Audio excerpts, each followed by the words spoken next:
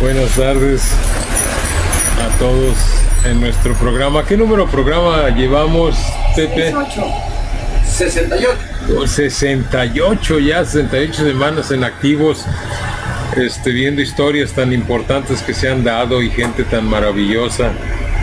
Y el día de hoy, pues no es la excepción. Ahora eh, nuestros invitados ya estuvieron por separado y este y ahora los hemos conjuntado y bueno ya llegó uno y esperemos vamos a esperar un ratito que lleguen los demás para empezar la charla y y pues eh, se presta también para unos comentarios que quería hacer referente a la semana pasada que estuvo el, el ingeniero Armando en el sentido que estábamos hablando de la familia Chorán. Eh, Enrique Chorán, que fue baterista, el primer baterista de Spiders, y luego Mauricio Chorán, que es, sí es Mauricio, de las cucarachas, y termina Pierre Chorán. Inclusive yo dije el nombre y estábamos peleando el nombre, buscando el nombre de Mauricio. Lo dije yo, lo dijo el, el licenciado Arturo, Armando. Bueno, fue uno que a veces sí se embola uno, como no.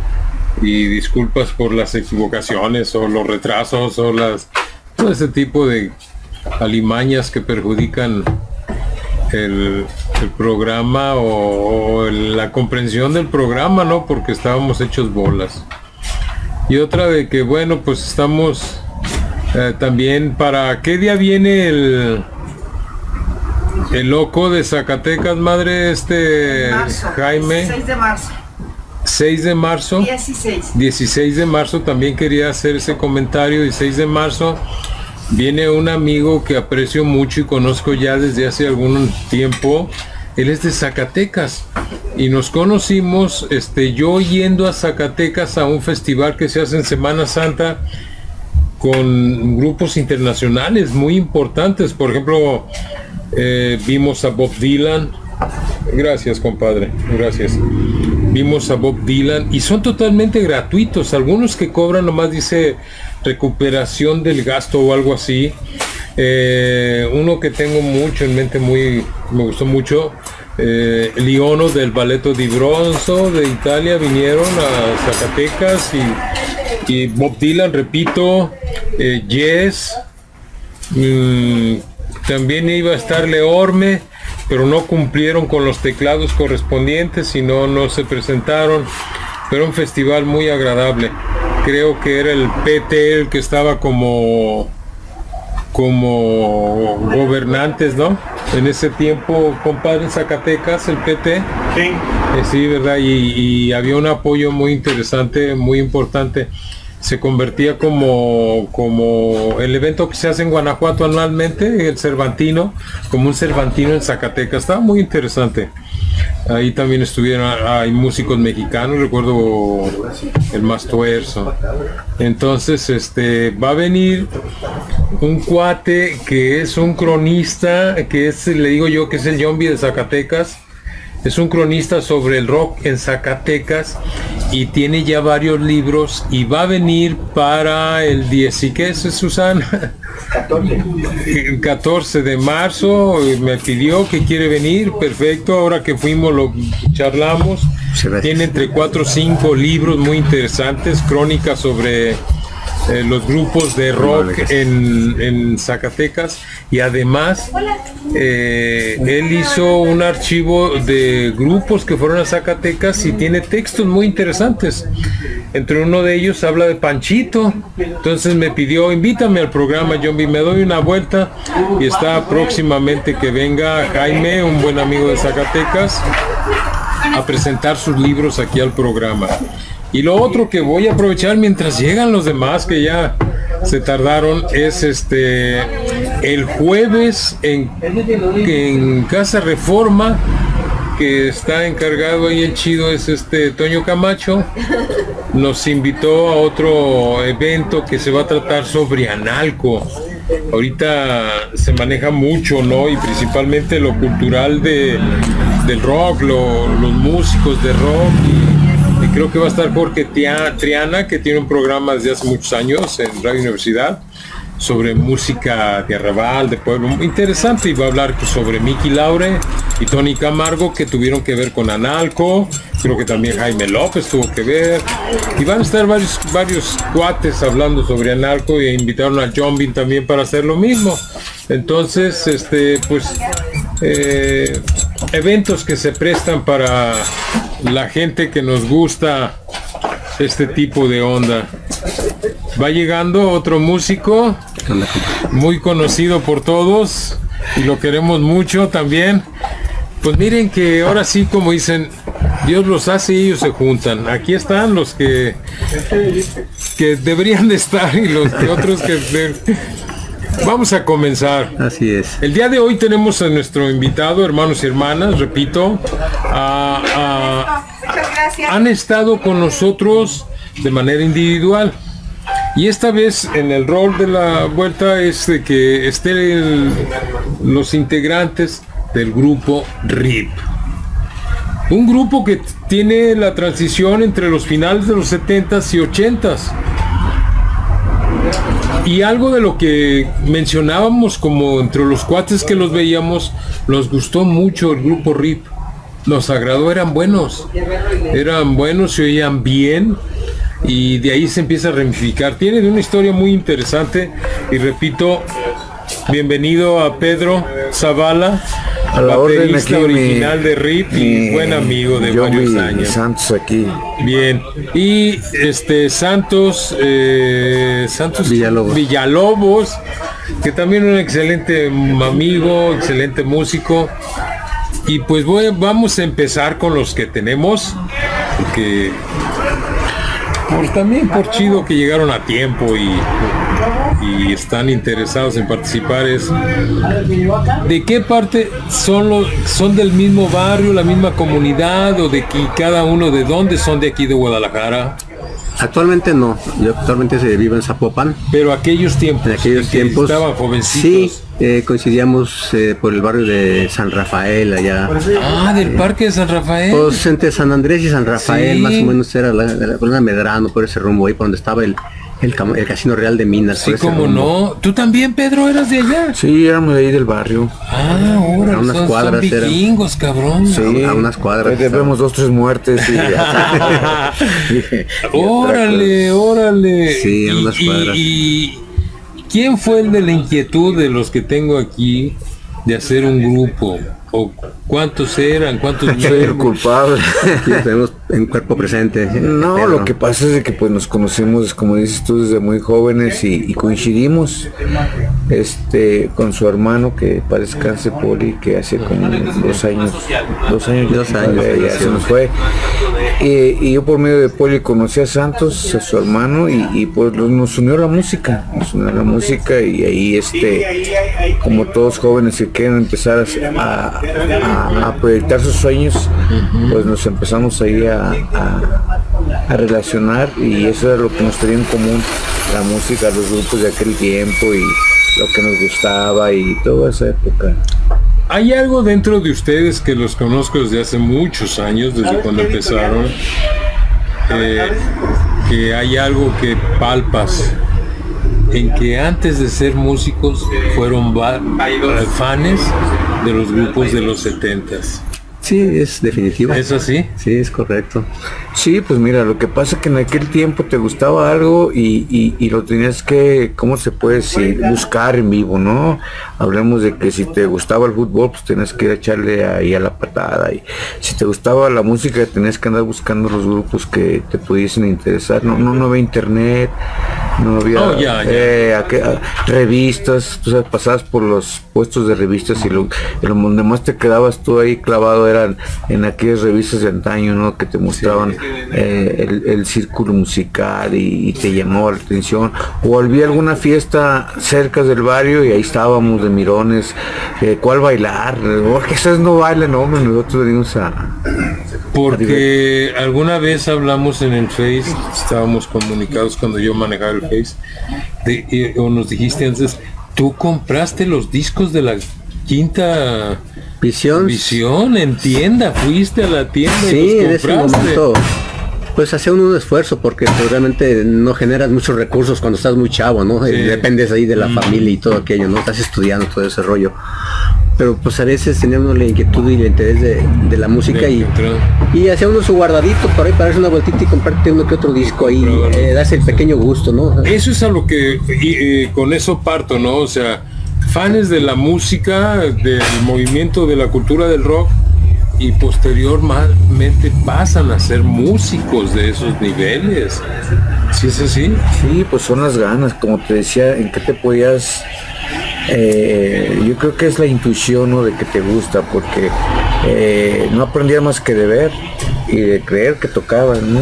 En el caso de Santos, pues a lo mejor su papá, que, fue guitarrista de un periodo, creo, eh, ahí venía un pequeño. Yo en mi caso no, pero como te digo, la inquietud como que te nace, ¿no? ¿Ya tenías antecedentes musicales? Pues sí, mi papá eh, tenía un grupo, un trío romántico, pero a, mi, manera de hobby, no era profesional ni se dedicaba a eso. Se reunían sus amigos y hacían bohemia y tocaba música de tríos. En mi casa había guitarras acústicas, había unas maracas, unos bongos, que por cierto cuando empezábamos por allá a hacer nuestros primeros ensayos con guitarras de caja y todo, al no haber baterista, aquel compa se ponía a tocar los bongos a manera de, percusión para, para tratar de arreglar una, una, pieza cuando menos, ¿no? O sea, muy rústico todo aquello, guitarras de caja y tú sabes. Sí, pues como... ¿Quiénes eran los que se reunían y forman su primer grupo? Bueno, mira, originalmente empezamos así como que la, con la inquietud, Pori y, yo. Luego ahí nos unimos a un cuate que ya no vive, ya no supe qué pasó de él. Enseguida fue Santos. Y así fuimos armando nuestros primeros toquines ahí con en la cuadra con los amigos, ¿no? De que este sin equipo. Sin equipo, como pudiéramos, las ganas, tú sabes, ¿no? A veces nomás les decíamos, ay, coopérense para, para alquilar los amplificadores ahí con la famosa señora que ya todos conocen. Eh, y, y, ya con eso nos sentíamos realizados. que nos ¿Qué te lleva a decidir por la batería?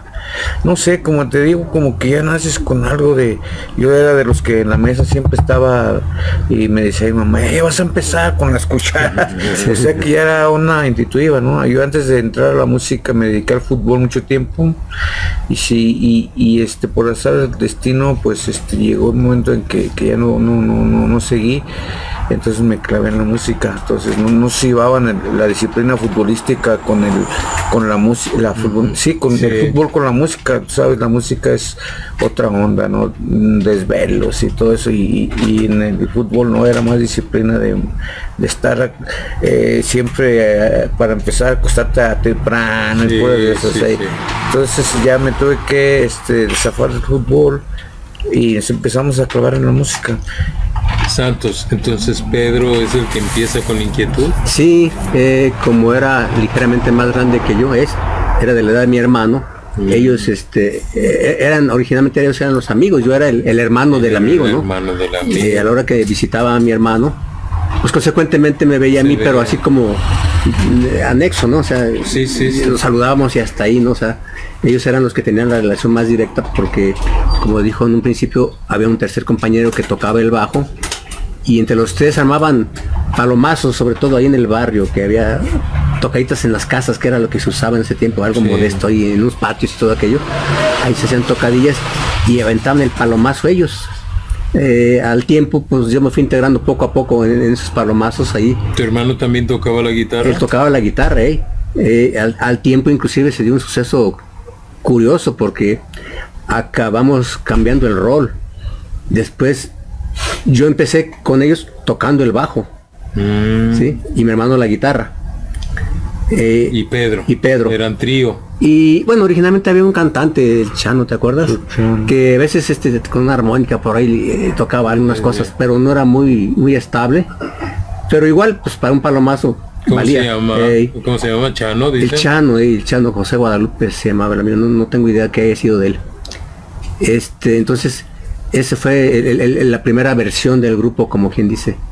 Y esos palomazos se armaban y... ¿Y, ya el nombre de Rick? No. No, lo que pasa es de que nos, nos empezamos a ser internacionales, o sea, salir de la colonia. Por ahí conocimos a la otra parte de RIP, que eran de otro barrio, pero ahí cerca. ¿De qué barrio, Pedro? Mira, nosotros éramos de Europa y ¿cómo se llamaba la calle? Delgadillo Araujo. Y Delgadillo Araujo. Ah, era, era la esquina de los rudos. Y empezamos a conocer músicos de otros barrios, ahí cerca, sí, pues, a, tú sabes, a relacionarse, a preguntarse. Yo me conecté con unos coches que eran de la 74. Y Aldama. Y Aldama. Me invitaron a tocar, tenían un grupo este, ellos ya estaban más organizados, ya, ya, ya era gente más seria, ya tenían sus aparatitos. Y, ahí empezamos, este, yo, yo, empecé con ellos y al rato ya jalé a, Santos, ya jalé a Poli, hicimos un grupo, empezó a sonar, empezamos a tener demanda, pero no teníamos nombre. Y un ¿Quiénes formaban ese grupo que me estás mira, Estaba Santos, estaba Poli, estaba este Kiko, estaba Cala. Tu hermano ya no estaba Santos. Sí, sí, Poli, estaba. Poli. sí, ya. Estaba este Richard, que también fue de los que murió el, hace dos años, es poco. Y así empezamos, empezamos a tener demanda. Y un día me acuerdo que fuimos a tocar una fiesta y en el camino nos decían, oye, pues cómo nos vamos a llamar, pues no tenemos nombre pues está ahí todos en el camino empezamos a inventar nombres, no los fulanos, los sultanos, ya ves cuando algo que quieres poner nuevo, todos se ríen, no, que nos van a decir esto, nos van a decir aquello. Y yo les sugerí que nos llamaran RIP, y me preguntas por qué, pues no sé si te acuerdas que había una famosa revista de Ríos, y a los del PRI les decían RIP, y yo en la tarde acababa de ver una y se me ocurrió, y, y digo, pues hay que llamarnos RIP, ah, como que RIP, y eso que qué decir, que sabe que los muertos. Total que llegamos a la fiesta cuando estamos tocando se nos acerca un señor, oye, qué bien tocan, este, ¿cómo se llama el grupo? Y todos nos quedamos viendo así, ¿no? ¿Cómo, cómo? Y pues nadie decía nada, pues Rip, ah, Rip, y ya el cuate mismo dijo, ah, aquí es Paz, no, qué buen hombre. No, y nos echó porras por el nombre, que porque le gustó, y ya, pues ya salimos de esa fiesta con un hombre. Es curioso que puedo considerar, y ya de lo que se ha tratado, tenemos como parte primordial Analco, ¿no? De su cultura y todo lo que tuvo que ver, ¿no? músicos. Sí, claro. San Andrés también, ¿verdad? Sí. Sí, nosotros... San Andrés hubo mucho baladero, ¿no? También. Sí, sí, hubo, hubo, buenos, buenos grupos. Mira, yo me acuerdo que San Andrés había grupos famosos en aquel tiempo, yo me acuerdo, yo vivía a la vuelta, antes de vivir ahí en San Andrés, digo, aquí donde vivía ahí a la vuelta donde eran los Freddys. Exacto, está Y yo me acuerdo que ah, oía ruido y ahí íbamos a verlos, a, pues ahí por la azotea, fíjate, todo estaba más aún más pequeño. ¿Qué edad tenías, Pedro? No, pues estaba que te yo creo que en la primaria, no me acuerdo. Y los Freddys empezaban. Sí, no, los Freddys empezaban, eh, se hallaban ahí en, el patio de, su casa y, pues este, por medio de la azotea nos asomamos ahí, nos quedamos viendo, que de hecho pues también ellos empezaron tocando rock. Exactamente. Eh, y luego ya más acá, cuando más nos interesó la música, pues indudablemente la solemnidad, la solemnidad era lo, lo, lo, lo San Andrés, San Andrés, yo, este, yo cuando podía íbamos, bueno, al menos yo iba a, a, este, a la Requí ellos ya tocaban. Estaban de planta ellos sí. sí. luego yo me acuerdo de otros grupos que salieron de San Andrés, pues, ¿qué te diré? Los Castores, Mulato. ¿Mulato? Mulato. ¿Mulato no era de la Yañez? No, de no, este... de San Andrés. pero ahí estaba un cuate de nosotros, este... A lo mejor vivía por las Yañez, pero ellos se juntaban ahí en San Andrés. Precisamente en Aldama y como la... Eh, eh, mulato era versátil, ¿no? Sí, bueno, todo el mundo, todos esos grupos empezaron tocando rock, pero muchos se enderezaron el camino. de hecho, hasta la solemnidad, eh, su primera grabación creo que fue un, una balada, un tema romántico. sí. bueno, tiene un, ese, tiene un tema romántico y tiene una más o menos que se llama He conocido una chica. Es el primer sencillo. y está más o menos. Pero es, es, es este es un producto totalmente de San Andrés, ¿no? Sí. sí, lo que pasa es que yo opino que los grupos en, aquel tiempo cuando, cuando surgió la idea de que nos integráramos a la música, la mayoría, la mayoría era baladista, porque si recuerdas en esa época el rock estaba prohibido, entre comillas, ¿no? Sí, sí, Por la, secuencia que sí, eh, había una represión. Había una represión, entonces la mayoría eran este baladistas y no por necesidad, era por, que buscar. Porque también hay que reconocer que a Así como Analco, hablamos del Tom de Analco, pues en San Andrés los vikingos, cabrones, que nutrió la Liga Comunista 23 de septiembre, ¿no? Sí, era, barrio bravo. Barrio bravo, San Andrés. Curiosamente, yo soy oriundo de Analco. Mm. O sea, yo nací en Analco. No más que ya chico, mis padres se mudaron acá a San Rafael, pero yo nací en Bartolomé de las Casas, o sea, en, de Analco, o sea, es que no me tocó vivir la juventud en Analco, pero pero sí, de alguna manera hubiera sido también parte del grupo de Analco también. Yo creo que fueron los barrios más representativos musicalmente, Analco y San Andrés. Sí, sí, sí. posiblemente la, la Yañez, que también tuvo sus, grupos importantes, y la corte. Es que se va dando la corte de Cantarranas, pero es el rumbo. es, el, rumbo, se va expandiendo, ¿verdad? Sí, exacto, exacto. Por eso recalco mucho, ustedes como chavos que iban a las tocadas, eh, les inquietó, eh, les eh, estuvieron inquietos por el motivo de la música, ¿no? Así es. Y empiezan a tocar y estamos hablando de los fines de, finales de los 70, ¿no? A mediados. A mediados. mediados, sí. porque el RIP duró como cuatro años activo así de, estar trabajando continuamente. Ya cuando dicen vámonos como RIP es en esa fiesta que mencionas y los mismos integrantes que están mencionando. Sí, lo que pasa es de que ya cuando te vas involucrando eh, no sé si se llame proyecto, en tu gusto, y va resultando la misma te va jalando, ¿no? La misma demanda de que, ah, les gusta cómo tocas y, y te comprometes, va creciendo, va haciéndose grande el compromiso, ¿no? De involucrarse con la música. Y, yo estoy de acuerdo con ese comentario que haces porque yo los vi. Sí. Y eran buenos cabrones. Eran bien. Para ese momento me refiero. Sí, fíjate este que eh, afortunadamente tanto Santos como Poli fueron muy habilidosos, eran muy aplicados. Mis otros compañeros no tanto, pero sí se apegaron a nosotros y de alguna forma los ayudamos, ¿no? Los ayudamos y se hizo un buen grupo. Se hizo un buen grupo y este pues sí, más o menos dejamos por ahí. Es que también considero que traían ya un estímulo y una vibra muy intensa a raíz de, del barrio y de la gente que estuvo en su barrio, porque eso sí te motiva, sí, claro. sí te prende. Nuestras influencias pues que teníamos en ese momento también. Porque sí se convirtió, así como tuvieron que haber sido con ustedes, pero a cierta edad en el barrio, en la comunidad, los músicos los veías con respeto. Se sí, te chido ver efectivamente. a los que admiraban porque sabías tocar un instrumento. Exacto. Ay, ya toca la batería. De hecho, pues cada grupo que llegaba a tocar al barrio a una fiesta mm, tenía que pasar la aduana con nosotros o nos decían los del barrio les da chance de que toquen ahora era como un sí no y acuérdese también que había se dio un fenómeno social del cuidado de los de los barrios, ¿no? De la colonia, ¿no?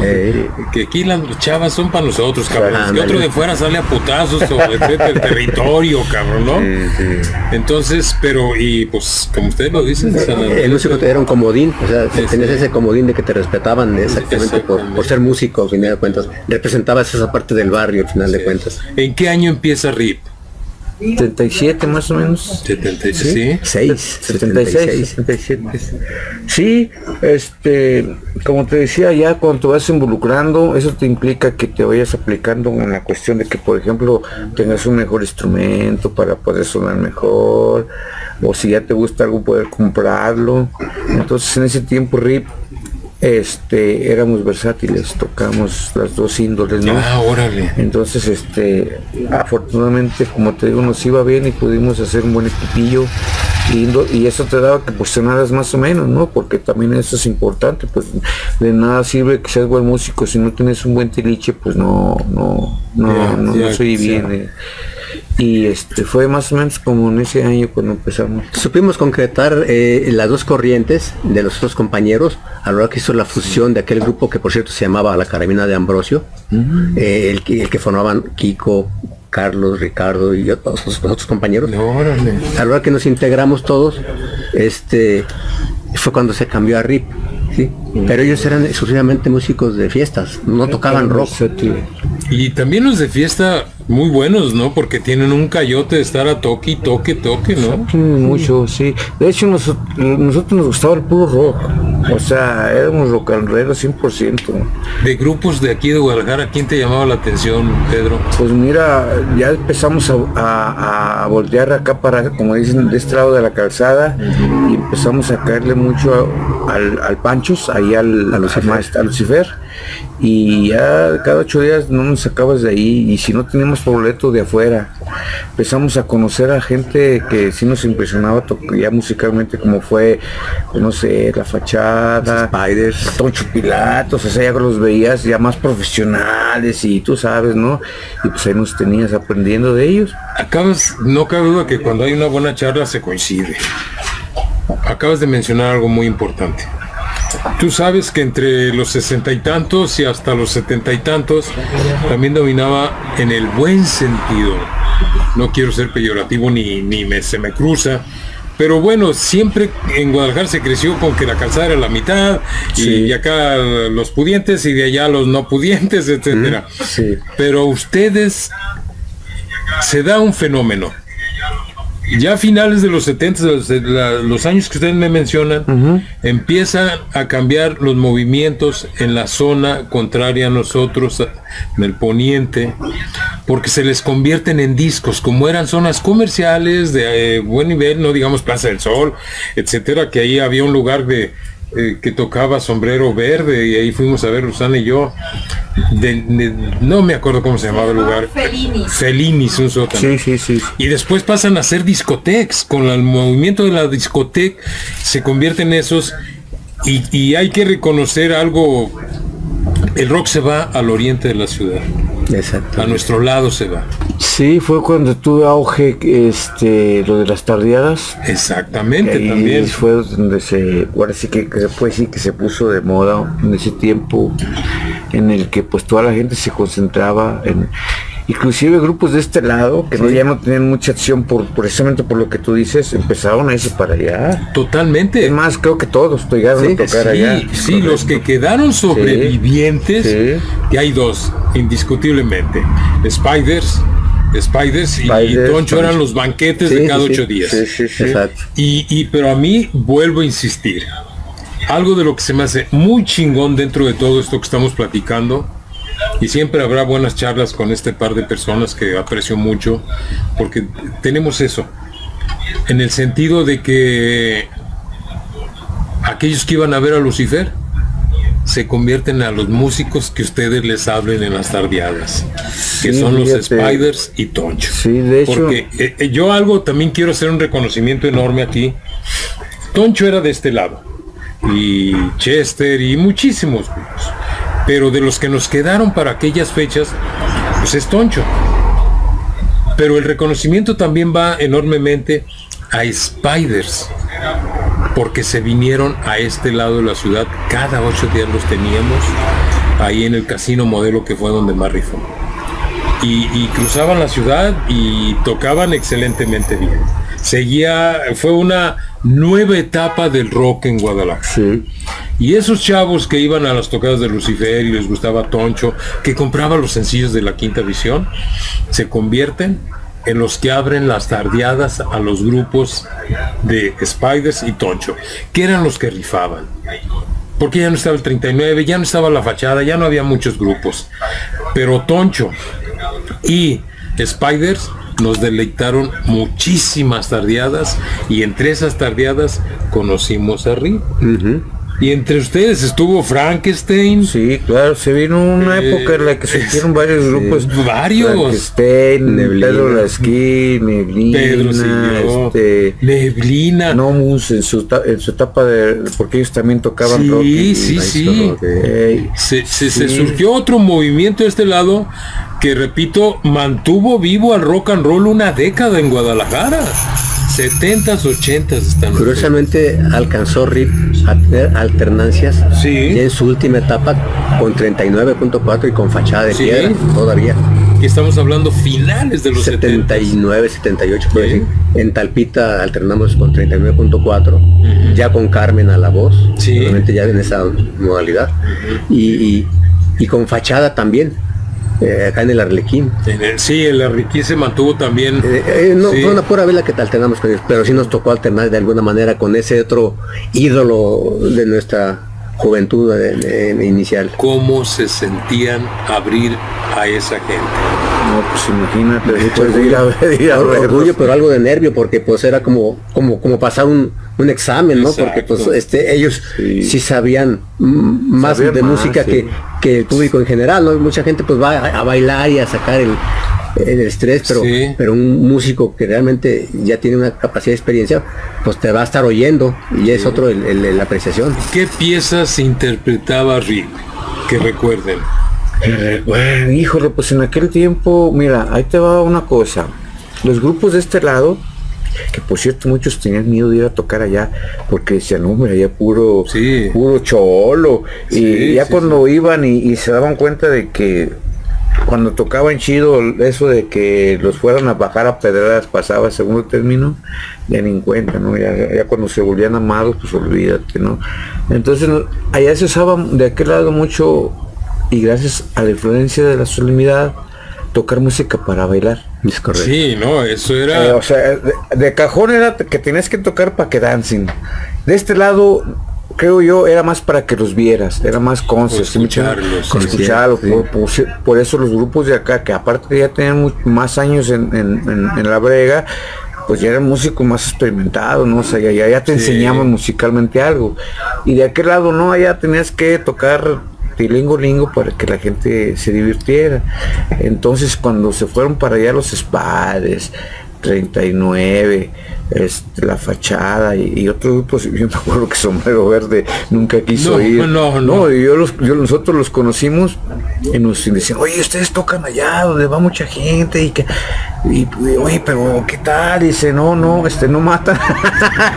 ya siempre tuvieron miedo, pero pero ganas de que de que, de que algún día fueran allá. Sí, sí, sí, sí, les hacían cosquillas. Sí, porque este se se rumoraba, no sé, se juntan dos, este, mil gentes, no, y había mala fama, cabrón. Sí, sí, con las broncas y era real, porque También, lo bueno es que éramos de ahí, eran cuates, sí, eran los cuates, malos eran cuates, cabrón, entonces... Sí Sí, fue una etapa muy, muy, muy interesante, te repito, dentro del rock en Guadalajara. Y esas tocadotas que, pues, mucho ahora entiendes. Y es que pues eran varios bravos, todos en, alrededor del modelo, no estaba Talpita y todo eso, eran rumbos pesados. Santa Cecilia. Fíjate que ya lo he dicho, y va con respeto, no es mala leche, entiende uno. Paco Navarrete de Radio Universidad de Guadalajara y que fue el Rastafari tapatío que le decía a Julio Aro, vino Canejita a Guadalajara, ustedes estuvieron como Fongus. Sí. Vino Canejit, ¿recuerdas al modelo? Sí, el modelo. De México se lo, se lo trajo para acá Mario. Y, yo recuerdo que todavía no abrían y estaba una puerta chica, algo así. Yo nomás me acuerdo que andaba un compa de la secundaria, de los que andábamos en este rol, el Carcanchas, que le encantaba el desmadre. Y estaban en la puerta, ¡ey, ey, ey! Así una bola de cabrones. Nosotros más veíamos a mi hermano y yo al Carcanchas y nos daba risa, ay cabrón tan latoso. Tan latoso era que en el foro una vez se trepó a los hombros de un cabrón y empezó a hacerle así con la chamarra y tumbó la bola de, no de cristal, la de jabón, la que hacía burbujitas y de color. Era bien vago, pues el carcanchas, cabrón, todo destruía. Y por cierto, ya regresa bien agüitado porque traía una cadena de oro y se la tumbaron, cabrón. Pero a lo que voy el comentario es Paco Navarrete que le gustaba mucho el blues y, tenía un programa, creo que se llamaba Boli Cadena en la Universidad de Guadalajara, tomado de la rola de Janis Joplin, no se animó, no se animó porque él era chavo de acá, tú sabes, no se animó a ver a Canejit por cómo vio. Sí. O sea, me lo dijo así bien neta, ir a John yo no me metí porque había un desmadre, cabrón, la neta.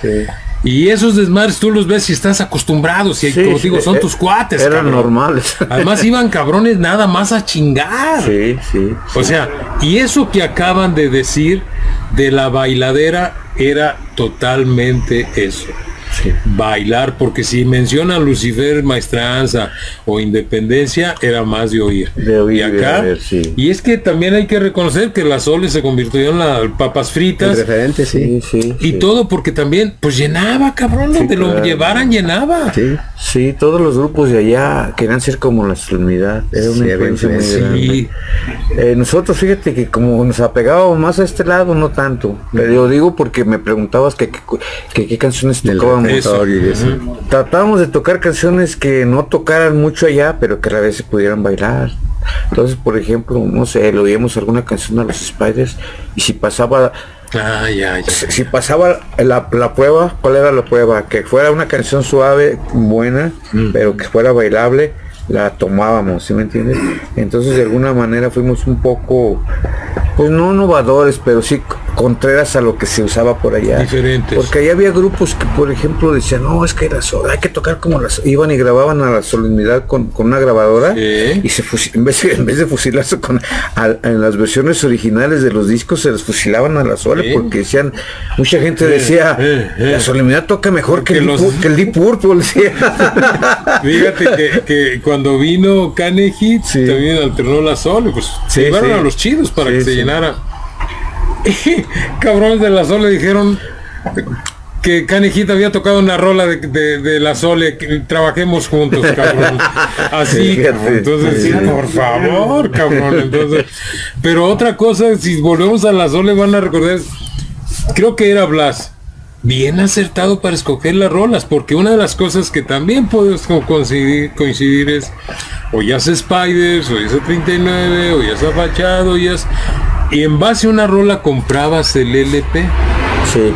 Con la Sole a veces era nomás la rola que tocaba la Sole era la chida y las demás no estaban chidas, ¿no? O sea, sabían elegir para brincotear, cabrón, era parte psicológico también de ellos así. No, aparte tenían un estilo, inclusive. Eso, eh, eso. inclusive canciones que, que, que no eran muy para bailar, ellos las hacían para bailar. Entonces, este, pues ya tenían un estilo, entonces cualquier canción que, tocaran o, fusilaran, se les oía bien, porque ya se apegaban a ese estilo de que la gente la disfrutaba. Por eso muchos, antes de oír la versión original en el disco, vayan a la Sole, lo oían el disco y dicen, no hombre, toca, la toca mejor la Sole. Era más bailable. Ustedes como vivieron esa transición entre fan y músico, de también ya ver otras formas de manifestar los grupos, las piezas, ¿no? Efectivamente. ¿Y a quién le empieza a abrir riff en esta parte, en esas tocadas? Pues fue bien sorprendente porque no creíamos que nosotros que teníamos como dos toquines en una tardeada, cuando ya nos estaban diciendo, van a abrir a los Spiders, ¡wow! ¿Cómo es posible? En ah, los Duk les abrimos. Eh, no, pero primero fueron los Spiders, ¿te acuerdas? Sí, sí. Entonces fue a 39 al, y luego después eh, vamos, vamos a traer a los Duk Duk, no mentes, ¿cómo es posible? Ustedes, ay, o sea, nos aventaban por delante. Entonces, este pues de, boleto empezamos a, ahora sí que a, tocar, a abrirle a, los grandes en ese tiempo. Sí, recuerdo eso. Eh, a, la Cruz de Tijuana, la primera vez que vino la Cruz de Tijuana aquí a, Guadalajara también nosotros. O sea que como era, era como el, el comodín.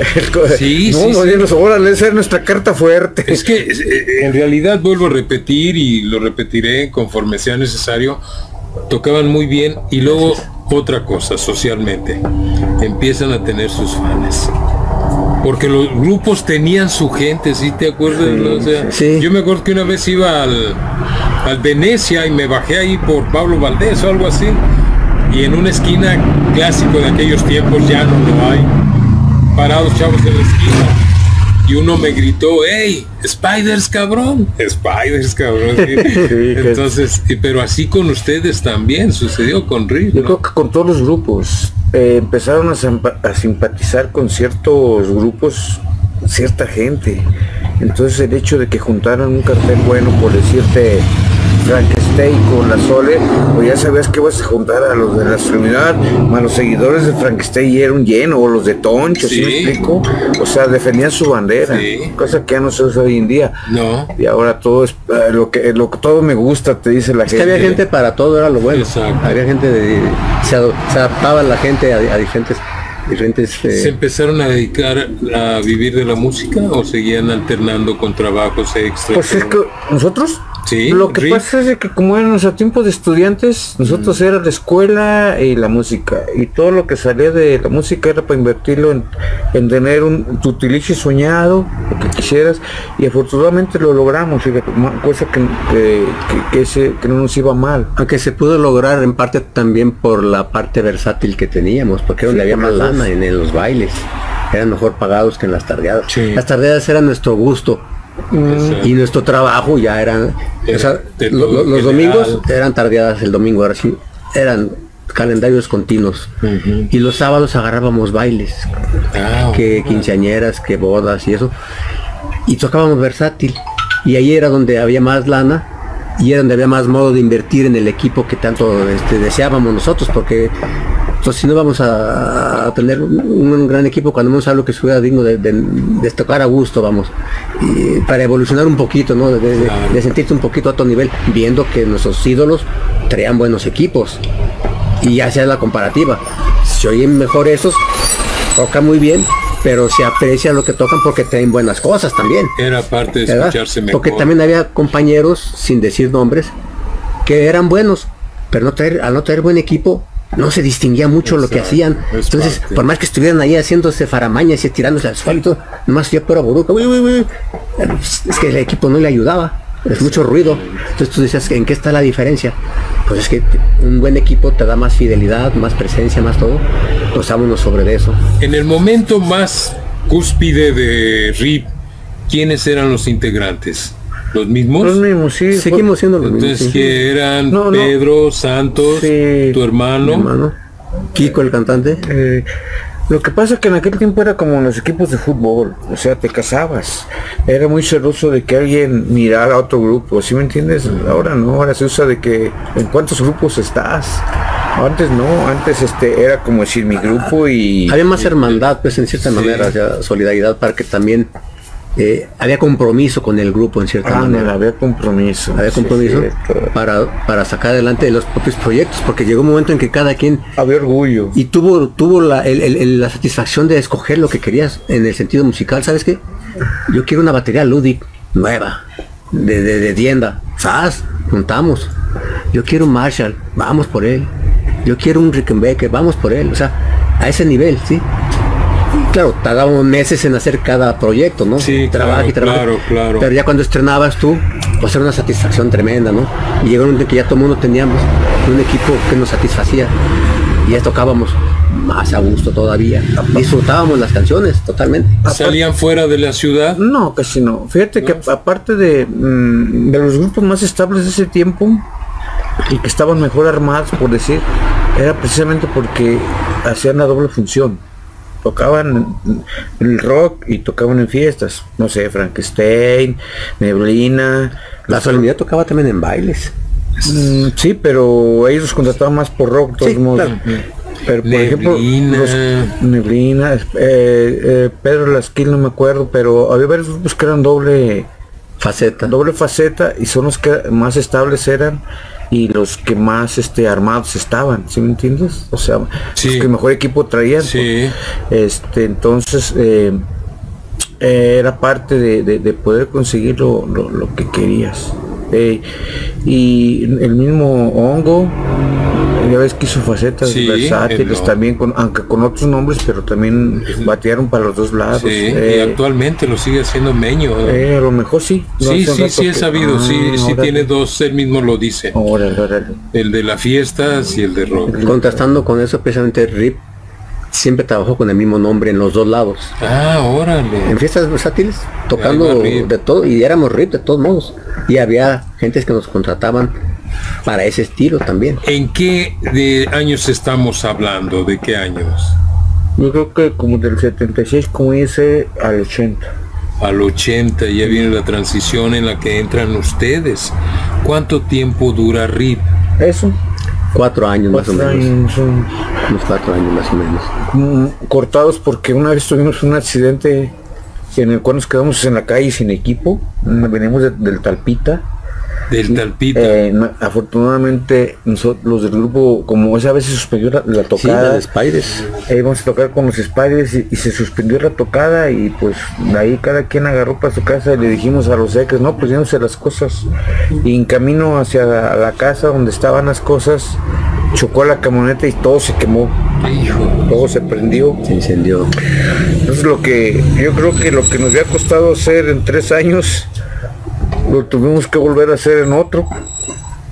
Pero, pero sí trabajamos regularmente, no duramos mucho tiempo inactivos, tuvimos que conseguir. Ah, siempre es, Por eso, pero entonces ya en el 80 sigue RIP o termina en ese accidente. No, no, no, el accidente fue como en el 78, 79. Bien. Sí, lo que te queda entender es de que lo que nos costó hacer en equipo en tres años como no le paramos, ya teníamos un nombre, en un año hicimos y lo doble de mejor eh, lo que habíamos perdido, porque nunca nos lo recuperaron. Tuvimos que, comprar todo. Entonces, este, así hasta como en el 80 se, acabó el grupo. ¿En el 80 se acabó RIP? De hecho, al final del 79. ¿Qué causa que RIP se desintegre? Yo creo que son, ¿cómo se le puede decir?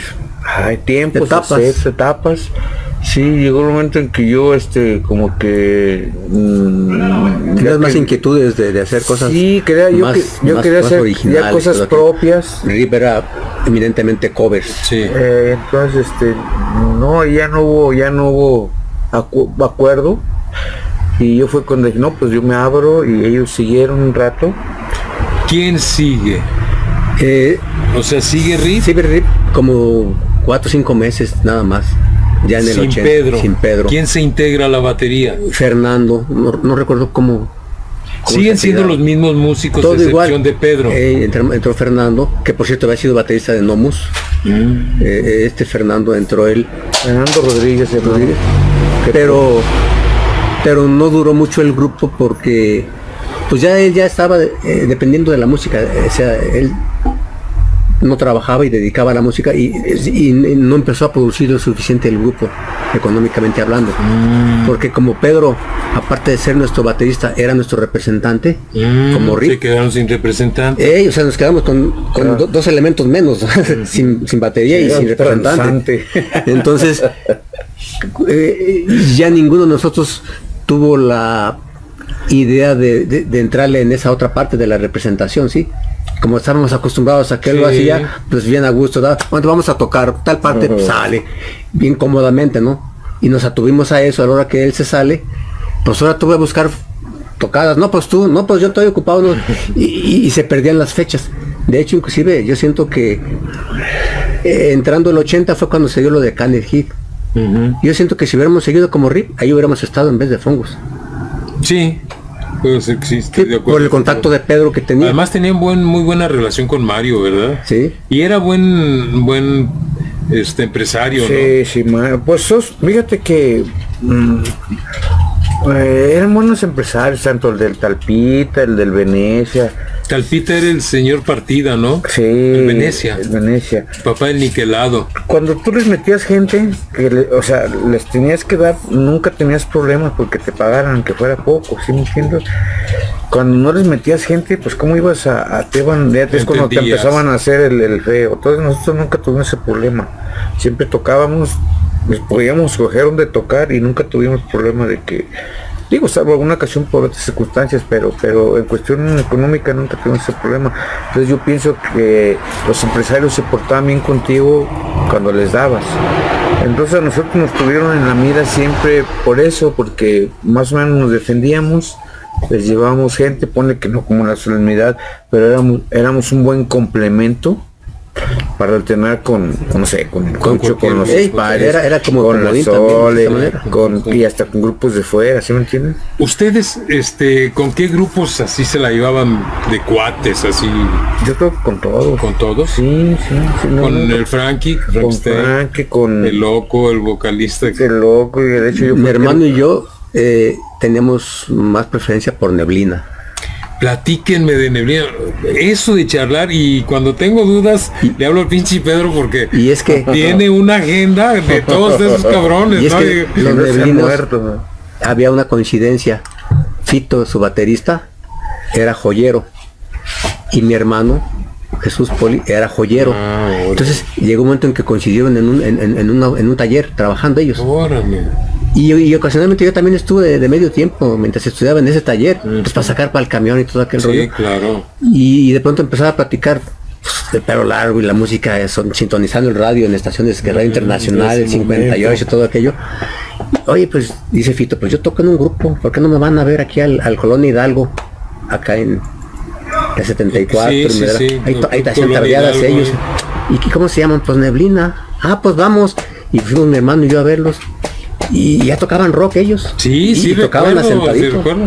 tocaban muy asentados. ¿Quiénes eran ellos? ¿Sí se acuerdan de ellos? Eh, Pedro. Eh, poco. Pues es el Fito, el batería, no recuerdo sus apellidos. Eh, el Chema, tampoco recuerdo apellidos, era el, el, requinto.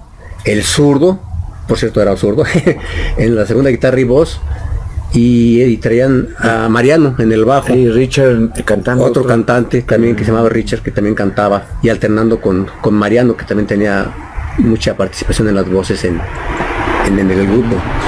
¿Se acuerdan que había un grupo que se llamaba Astrónomo? Que traía un viejito, con todo respeto, en el bajo. Traía un señor adulto, ¿no? No, no, eran los universitarios. Porque había un, un, grupo que, era un señor ya adulto y tocaba el bajo. Era el papá de, ellos y, los impulsó a tocar y, él estaba en el bajo porque pues era el dueño de todo. Pero sí eran los universitarios. Universitarios. Eh, y luego otro que me acuerdo que se llamaba Buchacas Bar, ¿sí se acuerdan? Sí, no, el del Huicho. Luego platicaremos sobre eso. es que eran los de este rumbo, ¿no?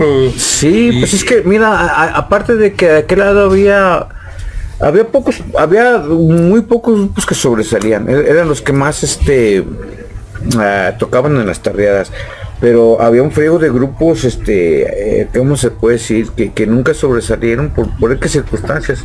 No sé, yo me acuerdo de, de Rock Tree, ¿cómo se llamaban los que nos, los, los primeros que tocamos?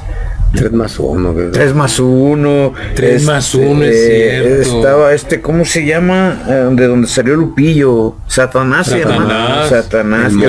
tripulación Z4, donde estaba el loco. Z4, que yo fui el que monté a, a, loco a Frankenstein cuando se quedaron sin vocalista. Ah, tú fuiste. ¿Quién era el vocalista entonces antes de Frankenstein? De Pares Cáncer. No, fue loco el primero. No, el primero se llamaba. Ay, ¿cómo se llama? No me acuerdo si Era Andrés, ¿verdad? No, ese es el no, pero Andrés era el chido del sí, grupo, sí, Sí, Andrés es Howard y, este estaba el baterista. También era un grupo muy unido. O sea, como te diré que siempre fueron los mismos, salvo pequeños cambios ya al último.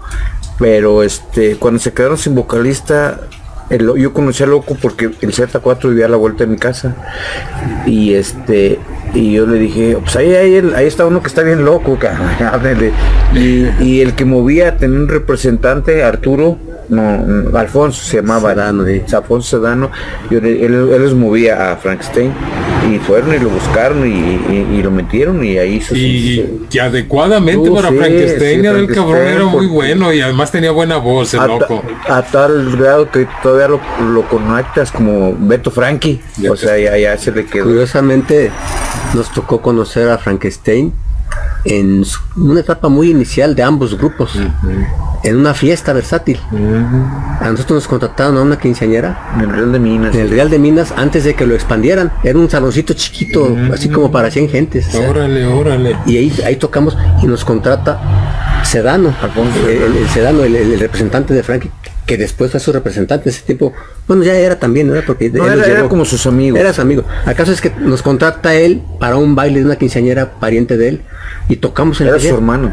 y, y se echa el palomazo Frankenstein y nos dicen, oye, esos muchachos son parientes míos, a ver si les dan chance de tocar.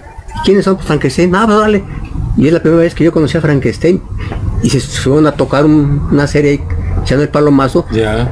Mientras nosotros estábamos con, el evento de, completo. Entonces, Y, fue curioso porque pues a raíz de ahí ya empezó a haber más más continuidad, ya ellos empezaban ya a meterse ya a las tardeadas, todavía no estaban metidos en las tareas en esa vez que estaban empezando a meter. Y fueron los que rifaron todos ustedes y todos esos que me estás mencionando. fueron grupos que traían su gente y llenaban y, tocaban bien y este pues hicieron época también. me acuerdo del loco que cantaban Frankenstein y el loco una de Brosville Station. Sí. ¿Te acuerdas que muy larga y que los chavos están en el baño, yo no sé qué estaban haciendo, que no sé qué. y decían que era de ellos los cabrones de loco. que pinche loco, esta no es tuya, no digas nada, cabrón, no digas nada. Bueno, está bien. También el Jorge se aventaba algo que ahorita hablaron, ojos mentirosos de Sí. Y decía que era de él. Y también me di sí, sí, sí, pues es que eh, la cultura musical todavía no estaba muy compenetrada con la gente. Ellos lo que oían, pero no, conocían mucho. Es que también podemos ver, Pedro, que los de este lado sí estaban más informados en lo que la música y acá era más banda desmadrosa que más. Te voy a dar un ejemplo, mira, en aquel tiempo todos los cantantes, yo creo que nadie sabía inglés. Yo los únicos que yo les conocí que cantaban en inglés, el inglés bien era el Tony, el Toncho, las pocas en inglés medias chimultrufiadas, pero ahí les el intento. Pero de ahí para el Real era puro guachinfora. Larry, ¿no? Larry también cantaba. Bueno, Larry sí. de los de aquel lado, puro guachinfora, la guay Sí, sí, sí, sí, sí, fonéticamente. sí, porque la, gente lo que quería era bailar, no, no lo que dijeran. La eh. y los de acá no. Ya cuando este, yo empecé a tocar por este lado, ya la gente, eso ya últimamente, con el internet y todo, pues ya se aprendía la canción, entonces la tienes que cantar como es, porque... ¿Qué? ¿Qué dices ahí? ¿No te la sabes? Sí, sí, sí, eh, Entonces ya los si te das cuenta ve un bar cualquiera y se agarró la mala costumbre de que ya todos traen aquí la el celular. El celular y lo malo es que la están viendo y cómo la pronuncian mal. Sí. y antes no, antes te la tenías que aprender bien y, eran muy pocos las que se la aprendían bien. No, y, ahora hasta los pinches mariachis, con todo respeto, eh, todas las rolas se las saben, cabrón, saben esta sí, y sasas, y está el mariachi se, acá, ¿no? Se vuelve una costumbre, se vuelve una costumbre, pero, pero a mí nunca me gustó, me gustó claro que no. Eh, pues, va a decir, no, eh, ahorita estamos hablando del celular, pero antes usaban unos atriles, unos atriles acá, que no le veas la cara al vocalista, entonces parece que estaba diciendo misa. Entonces, que estaba leyendo. Entonces, Pedro decide salirse. Así es. Y no se chiviaron ni se sacaron de onda, todo fue chido así. Pues no. se les iba un buen miembro y un representante. lo que pasa es que ya. Un transante. Ya habíamos tenido una, una plática previa, precisamente Pedro y yo. Él me había eh, comentado la inquietud de, de, tratar de hacer algo propio, ¿no? Eh, yo le dije que estaba pensándolo, o sea, le di largas un poquito, ¿no? Yo en ese tiempo personalmente traía algunas bronquillas por ahí.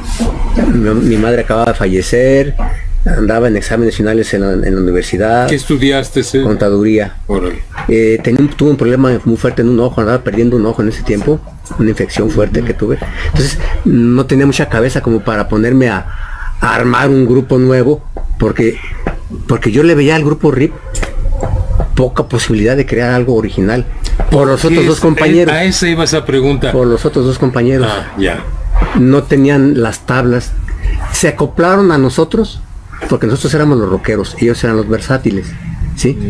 Y como se aprendió las canciones el que canta y el otro guitarrista, yo le pasaba las canciones, sacábamos el proyecto, ¿sí? Como RIP. Pero a la hora de que ya yo me proyectaba, ¿sabes que vamos haciendo algo propio? Yo no les veía tablas como para crear algo ya original. Había que rehacerlo desde abajo. Otra vez. Y yo lo veía complicado. Y, por otro lado se me hacía también como, como mala onda abrirlos, diciendo que originalmente nos apoyamos en ellos también para salir adelante, ¿no? Por eso yo estaba tratando de tantearle eh, el asunto para ver qué se decidía mientras. Pero, pero eh, tenía una inquietud muy grande y él decidió mejor salirse porque no vio respuesta inmediata, ¿no? Y tenía razón porque te digo, los otros compañeros curiosamente a raíz de ese dejaron de tocar rock. Se dedicaron a la música versátil.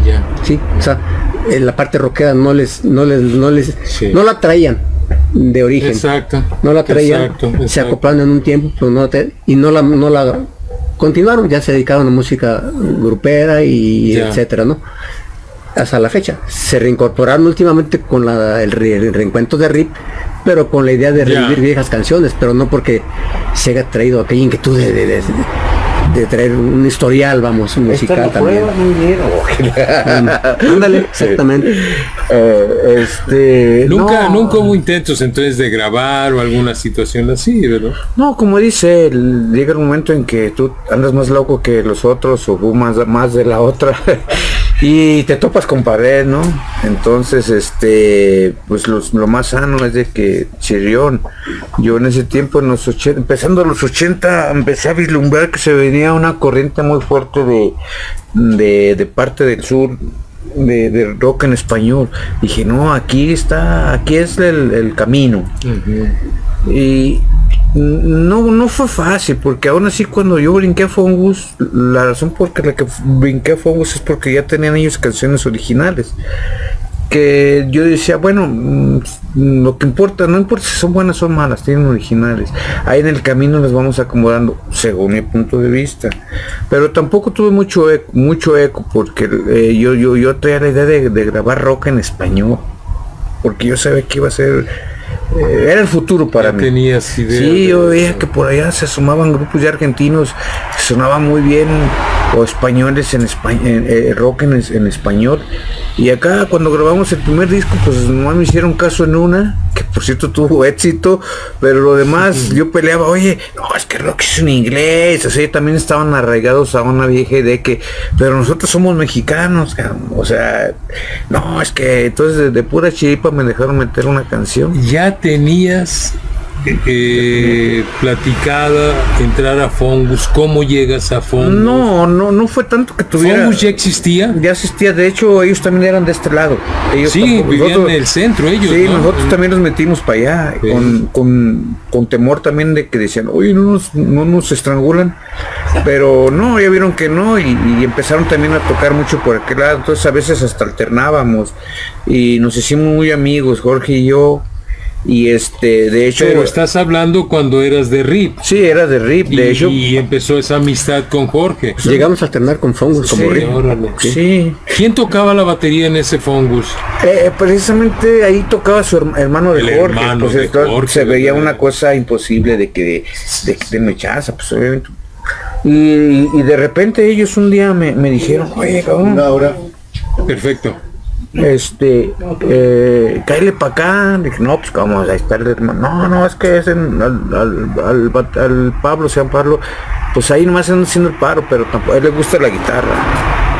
Dije, pues vamos a calarle. Y ahí... Ellos te invitaron. Entonces por ahí empieza así la escabullida de... Empezó a haber una cierta inquietud, amistad a raíz de esas convivencias que se dieron. Tocamos, tocaban mucho allá en los centros sociales allá en la Cuauhtémoc. Sí, sí, recuerdo. Precisamente Triana, que lo has de identificar, que tiene un programa en Reino Universidad de Guadalajara, la vitrola o la, la ¿cómo se llama el programa del la rocola. La rocola, rocola, algo así. Y, y, ahora que nos invitaron para el jueves a Casa Reforma con Toño Camacho, va a haber algo sobre Analco y me invitaron y me dijo que dijeron que también iba a estar él porque Tony Camargo y otra gente de Analco, Miki Laure, y él iba a tirar ese rollo y se leyó el flyer del programa de hoy y dijo que él se acuerda de Fongus en esos lugares, la Cuauhtémoc, centros sociales de las de por allá. Sí, ah, yo lo recuerdo exactamente. la arboleda, pues en aquel tiempo, fíjate que todos los centros sociales de todas las colonias agarraron de moda hacer tareas para reunir recursos para la colonia. Sí, Entonces que estaba de moda pues llevar a los grupos de rock. Todos tocamos en ¿no? pues, toda colonia, desde Tetlán Río Verde, que es para allá, la Cuauhtémoc, que estamos para acá y luego para acá estaba la Tusanía, la Arboleda, y también Miravalle, Juárez, y del sur también. sí, sí, pues donde quiera había colonias con, centros sociales. Pedro, tú caes a Fongus. ¿Sigue activo RIP? Mm, ya casi. Seis meses. Lo que pasa es que a la hora que entra este amigo Fernando, que dura poco tiempo, se emigra porque no tuvo ya el recurso para subsistir, ¿no? Y entra el fito de neblina. Que neblina ya se había desbaratado al parecer. No hablamos, cabrón. Porque eso, en neblina también se oyó. Se había desbaratado neblina y, y fito se integró, pero, pero para tocar rip versátil. Otra vez para obtener recursos. porque ya, ya, ya no era el rip original, ya no estaba el Cala, el, otro guitarrista, ya era un tecladista. Y tú sabes que la música versátil, un teclado es más adecuado para el estilo, ¿no? Claro. Eh, haces metales, haces cuerdas, haces pianos. Entonces, trabajamos como un año como, como versátil con Fito y otro tecladista. A partir de ahí ya viene el proyecto de Mexicano. Ahorita vamos a hablar de eso precisamente, digo, vamos bien coordinaditos. Ya que estamos en eso, por cierto, estamos en el momento de los saludos, pero después de los saludos vamos a hablar porque RIP hace ramificación dentro de los grupos de rock en Guadalajara, de mayor reputación, vamos a decir así. espérame un segundito nada más. Pedro llegó, llegó como la policía, llegó tarde, pero algo de tomar, algo que quieras, una agüita. Un no, no, no, gracias, gracias. ¿Nada? Estamos bien, Vamos a saludos, madre. Ah, bien. Perfecto. Este, vamos a los saludos. Muy bien sus fans. no, pues cuál ya se murieron. Hoy, hay un buen de saludos. Eh, eh, quisiera mandarles saludos eh, a varios países que nos sentimos muy contentos de que nos miren por allá. tenemos público en Estados Unidos, en Canadá, en España, en Venezuela y en Libia. y quiero enviarle un saludo especialmente a un joven topógrafo y eh, anticuario de la ciudad de Trípoli en Libia que se llama Sad Abdul Kadir, que tiene un gran conocimiento de la música mexicana desde hace muchos años. Entonces les enviamos, le enviamos un saludo a Sad Kadir hasta Trípoli, la ciudad de Trípoli en Libia. Eh, Mario Hernández Flores del grupo Hongo les manda muchos saludos, dice buenos músicos de la época del rock tapatío. Polo Durán también nos está mirando, le mandamos saludos. Pascual Sandoval Solís, saludos a los invitados. Jorge López de Fongus dice, fuerte y afectuoso abrazote para Pedro y Santos, parte fundamental e integral de la trayectoria de Fongus. De eso vamos a ver enseguida. Saludos. Qué chido. Eh, Ángel Santos también les manda ah, saludos. Hasta Tonalá enviamos saludos a nuestro querido amigo Ángel Santos. La maestra Yolanda Escamilla que nos está mirando. Saludos también para ella. Al maestro Felipe Espinosa Tanaka ah, les manda saludos. Alfonso Ríos, Ponchito. de la, vida. También les manda saludos. Saludos a Charlie, a Carlos Sosa eh, Jaime Flores desde Zacatecas, melómano y cronista de, que hablamos al principio. Zacatecas les manda saludos. El arquitecto Francisco Javier Ruiz González. Saludos a mis amigos Rip, Santos y Pedro, la otra mitad de Fongus. Eh, José Ángel Cantú, el pelos. Ah, eh, le enviamos saludos hasta Playa del Carmen. Dice que a qué horas tocan. ¿Qué onda? ¿A qué horas tocan? Kevin Christ, eh, guitarrista de, el, hongo. el hongo también. saludos maestros. ¿El honguito? El honguito. Ay, saludos, un niño muy bonito. Al Jorge Nopalito y a Luis Sandoval eh, les manda saludos a todos y le enviamos saludos a ellos también. Muchas gracias. Creo que son todos los saludos hasta ahorita. Bien, gracias. Muchas gracias a todos, cabrones. Y es un placer que nos estén oyendo y, y eso de inquietar la mente y volver a recordar, porque con lo que está diciendo Pedro Santos y Santos de que neblina y que eso, sí es cierto, cabrón, vean los cartelotes y siempre lo he dicho, como parte fundamental de la sociedad era un desahogo y te la pasabas bien, pero tú veías el cartel desde el martes, aquellos cartelotes en la ciudad, y veías Casino Modelo, Venecia, etcétera, y ya te emocionaba, cabrón. Sí, ibas en el camión y veías los carteles. ¿Quién va a tocar el domingo ya para prepararse? Y entre esos está eh, Neblina, estaba esto, estaba... Fíjate que hay varios grupos que... de la lucha libre. Sí, que pasaron en aquel tiempo, pero que no, no, no, trascendieron, pero eran buenos grupos. ¿Cómo se llamaba aquel grupo que le compramos la primera batalla? Swish. Había Switch. Switch es muy buenos y también Mágico también era mágico, mágico, mágico, fue sucesor de, bueno, parte de la cochera en servicio o no de la banda. La banda de la calle Hidalgo, sí.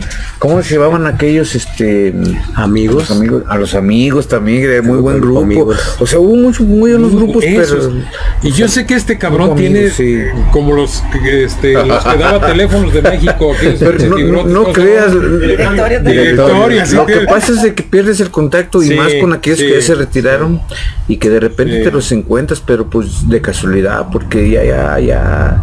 O sea, ya, ya no pues están en el ambiente, ya. no están en el ambiente. Yo, por ejemplo, alguien que ustedes también conocieron muy bien fue Coria y el Peluche. Sí, sí, los hermanos. Les he invitado, pero bueno, Coria, su situación de salud. Y el Peluche que se hace que no oye el cabrón, pero sí me encantaría que estuvieran ellos, porque también es bien merecido. Entraron tres saludos más ah, de Felipe Hernández. Eh, él, nos ve desde, desde Cancún. Ah, Sergio Águila González, saludos desde California a todos por allá acá escuchándolos. Muy bien, Freddy Magallanes, que también nos escucha cada semana, les envía saludos a todos. Saludos, Freddy. A Freddy Magallanes. Gracias, quédate pues, Susana. Pues continuemos con la. Sí, este, aquí viene otra etapa que dije antes de los saludos es RIP abre camino. Rip, rip. Rip, rip, pero abre otro camino. Pedro se va a Fongus. ¿Cómo es que llegas a Fongus? Te invitan, nos acabas de decir, pero que, que encajas perfectamente. Pues este, ¿qué te diré? Ellos ya estaban muy organizados, ya era un grupo que, ya tenía rato. ¿Quién formaba ese, en ese momento Fongus? Fongus estaba Jorge. Su hermano. Su hermano en la batería, estaba Paco Ruiz, que Paco. Eh, y estaba eh, Beto, Beto Camacho, que también era un cuate de, de, Sinaloa. Otra guitarra, ¿verdad? Paco era el requinto, ¿no? Sí. Paco era el requinto. Eh, Jorge el bajo y su hermano la batería. Eh. Pero, pero hay cierta química y amistad entre tú y Jorge, ¿no? Sí, creo que sí, porque empezamos a convivir mucho y, y, tener muchas cosas en común. Los dos tenemos los sueños loqueros de, ser famosos, tú sabes. Este, entonces, eh, esos sueños este, no hay imposibles, ¿no? Digo, no, no lo hicimos como quisiéramos porque también hay que tomar en cuenta que en aquel tiempo era más difícil que ahorita. Ah, en aquel tiempo, si ibas a tocar fuera, tenías que cargar con todo el tilichero. Hoy en día pues, ya nomás llegas con tu guitarra y todo te lo pones. o sea, la comunicación sobre todo que se da hoy en día. Antes, imagínate ir a tocar a, no sé, León pegar los carteles allá a ellos y, o sea, era más difícil, ¿no? Pero este, eh, no, nos dejábamos, eh, nos, a veces cuando no tenemos tocar aquí los domingos, subíamos las cosas al tren y nos íbamos a México sin decir agua va. Llegábamos allá a México y, nomás gritábamos, aquí estamos. Y no sobraba, no faltaba que fuera por nosotros y, de boleto. Entonces. Es que este, criaron su, su, su calidad, su fama, ¿no? En el buen sentido. Fongus empezó bien. mira, Fongus lo que nos ayudó fue que tuvimos la oportunidad de grabar un disco, ah, cosa que era muy difícil en aquel tiempo. Ahorita cualquiera, digo, no voy a, entrar en esa polémica, pero ahorita es más fácil grabar, puedes grabar en tu casa ya.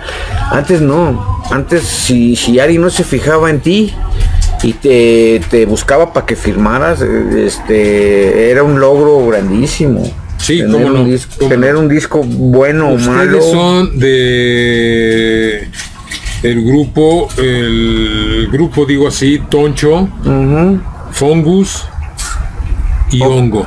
Ah, en Cronos. En Cronos. Sí, pues abren una nueva línea también en grabación, porque yo creo que fueron ustedes, Toncho abre el camino y vienen ustedes. ¿sí? Y te conviertes en músico de acetato, indiscutiblemente. lo que pasa es de que este, en aquel tiempo esa compañía era puro, puro catálogo vernáculo, vernáculo, grupero. Eh. pues Chayito era la chida. Pues, eh, era la, la, que mayor estudio, así se llamaba Chayito Valdés. Y afortunadamente Toncho ahí entró por, por este como un experimento porque no sabían si iba a resultar. Le resultó y este casualmente un día estábamos alternando con Toncho y, y de la compañía y, les gusta el grupo. Y nos dicen, oye, ¿no les gustaría grabar? ¿Cómo no? No, pues los espero, nos dijo el ingeniero en aquel tiempo FEMAR, ahí los espero el lunes a, para practicar y ya fuimos el lunes bien tempranito. Y seguían viéndose, charlando, con Sí, sí, porque Santos. siguió con mexicano en ese tiempo. Espérate, cabrón, no, te me adelantes. No, no, te, digo esto porque nos seguimos viendo, pues sí, yo, nunca, nunca nos dejamos de, cotorrear, siempre, siempre, sí, sí, sí. nos ¿Cómo veías que tu amigo Pedro ya iba a grabar con Fox? No, de hecho, me dio la primicia de llevarme el primer disco con un obsequio a que yo le escuchara. Eh, este, él, en su banda y yo ya con mexicano y, y lo acabamos y lo vimos ahí en casa el disco o sea seguíamos teniendo esa esa convivencia no de alguna manera y ahorita hablamos de mexicano porque es lo, es lo valioso de Rito o sea tuvo que ver abrió caminos y, y bien. El primer grupo a mí se me hace muy el primer disco inclusive el nombre. Sí. Guadalajara ¿Quién se le ocurre? Oh, ¡Qué chida! Sí. ah, ya, mira. Son de las que roló ya el vikingo cuando hizo este convivio allá. Creo que se fue. Pues vamos a eso. Sí. Eh, muy chido. Y luego doble portada.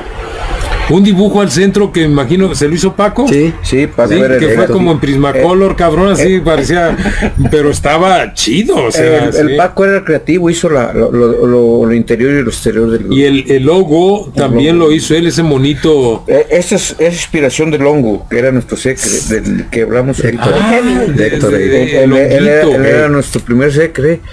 Y este, aparte del Pazuzus, ¿no? Eran el eh, cuando Héctor, que es el hongo, ya se quiso lanzar al ruedo, dijo, ¿saben qué? Yo ya voy a agarrar la guitarra, pero para que no se queden sin secre, ahí va mi hermano. ¿El pasó ser hermano de loco? No te azotes, sí, sí. sí, y si recordarás en aquel tiempo todos los grupos tenían su secre, ¿cómo le pueden decir? Estelar no sé, la, la Soli tenía el Yogi. Al Yogi.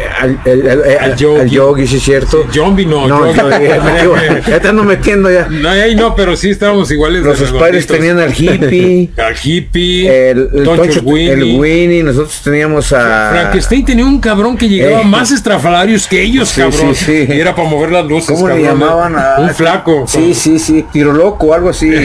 eh, y, pero miren, mi hermano en paz descanse Alejandro y yo llegamos y oye es gordo, llega más trafalario el chicharo que el grupo, ¿no? Y ya se ponía sus, saca su switch, ¿no? Sí, sí, sí.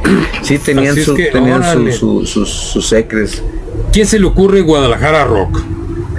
Yo. Yo, a mí ¿Sí es cierto, Jorge? Ay, no es cierto. más comentarios ahí sí, porque yo decía, bueno, tiene que ser algo que, que represente la ciudad, Guadalajara, Jalisco, pues no, pues de Guadalajara rock. Estuvo muy chido, a mí se me hizo. Y luego, por ejemplo, eso sí me lo dijo un día Jorge, y estoy de acuerdo, que le dijeron que tenía un parecido a Spiders. Sí, cuando de recién antes el primero, el primero. antes de que los echáramos a perder, porque ellos también cuando entraron de aquel lado tuvieron que hacer su repertorio un poco más bailable. ellos tenían un repertorio más audible de este lado, era para ir a verlos. Sí. Entonces cuando se metieron por allá, pues ya vieron que había que echar brincos también, entonces sacaron dentro de su estilo. Pero yo, yo los, cuando los conocí, dije, ah, son los hijos de los Spies, porque tocaban todos los Spies y se parecían mucho. Entonces, este eh, sonaban bien. Eh, pero Jorge también tenía buena voz, un estilo parecido a Tony. Sí, a mí hay una que me gusta mucho, se me es que es tuya, cabrón, la de Trébol. No, esa es de Paco. Es instrumental de ah, Paco. Instrumental Está muy chida esa. Sí, no, fíjate que... ¿Cuál es la que tú... No, mira, fíjate que ese disco, esas canciones ya ya ya las traían ellos de, desde antes. Ah, no, yo, yo ahí no, no metí la mano para nada, yo nomás le metí letra en español a esa que te digo. ¿A cuál? Se llama la reina del rock and roll. Ah, eres eh, tú que la mano la tiene o que algo así. Que... Mm, pues ya ni me acuerdo. eh, sí. Entonces. ¿Te acuerdas cómo lo oías, Sí. Sí, esa canción este mm, es la que más se recuerda a la gente.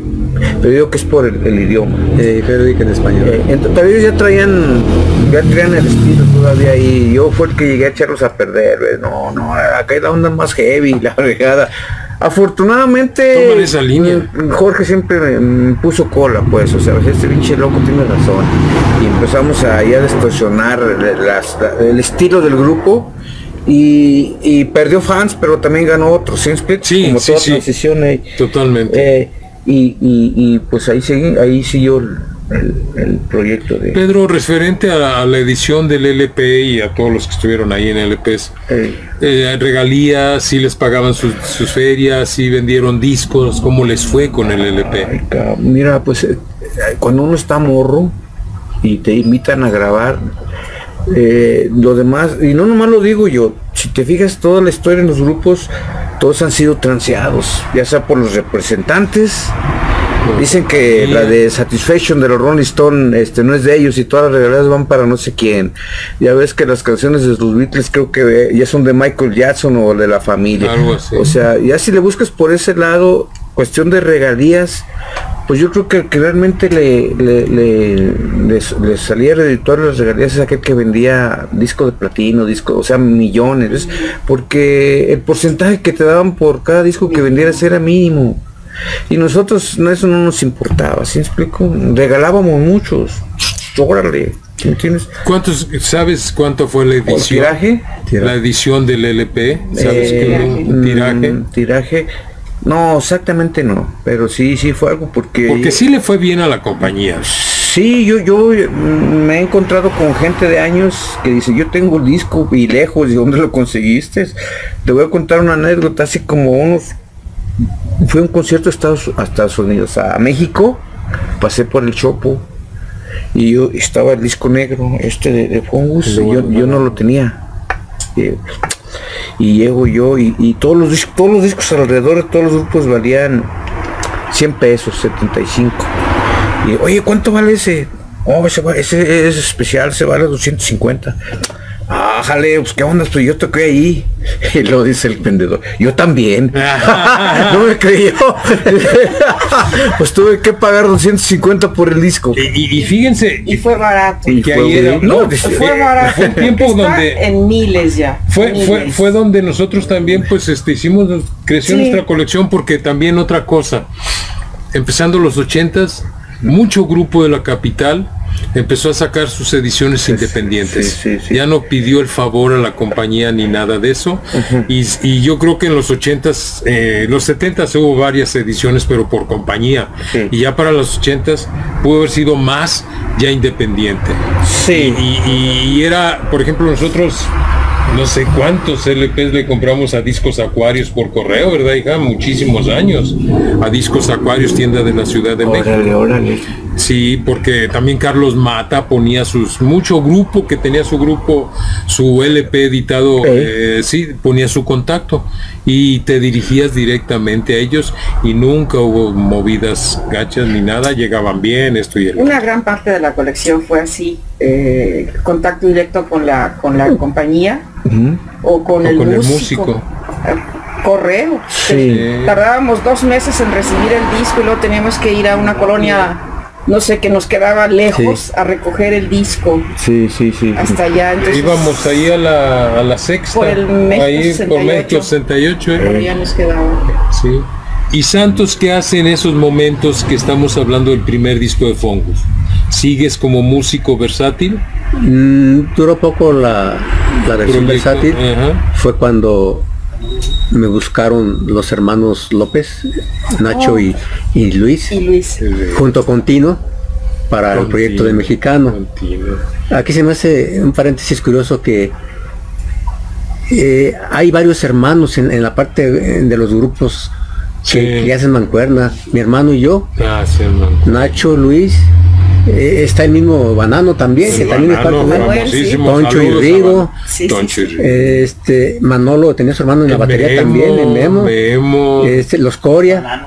los Coria, O sea, los Coria. había- en la, había siempre- en la quinta visión también el cantante y el, El- Memo daba los Memo. eh, Exactamente. Daba mucho eso de la hermandad. Ey, Entonces, pues ya cuando me invitan al proyecto, sí me llega ¿A ti quién te invita?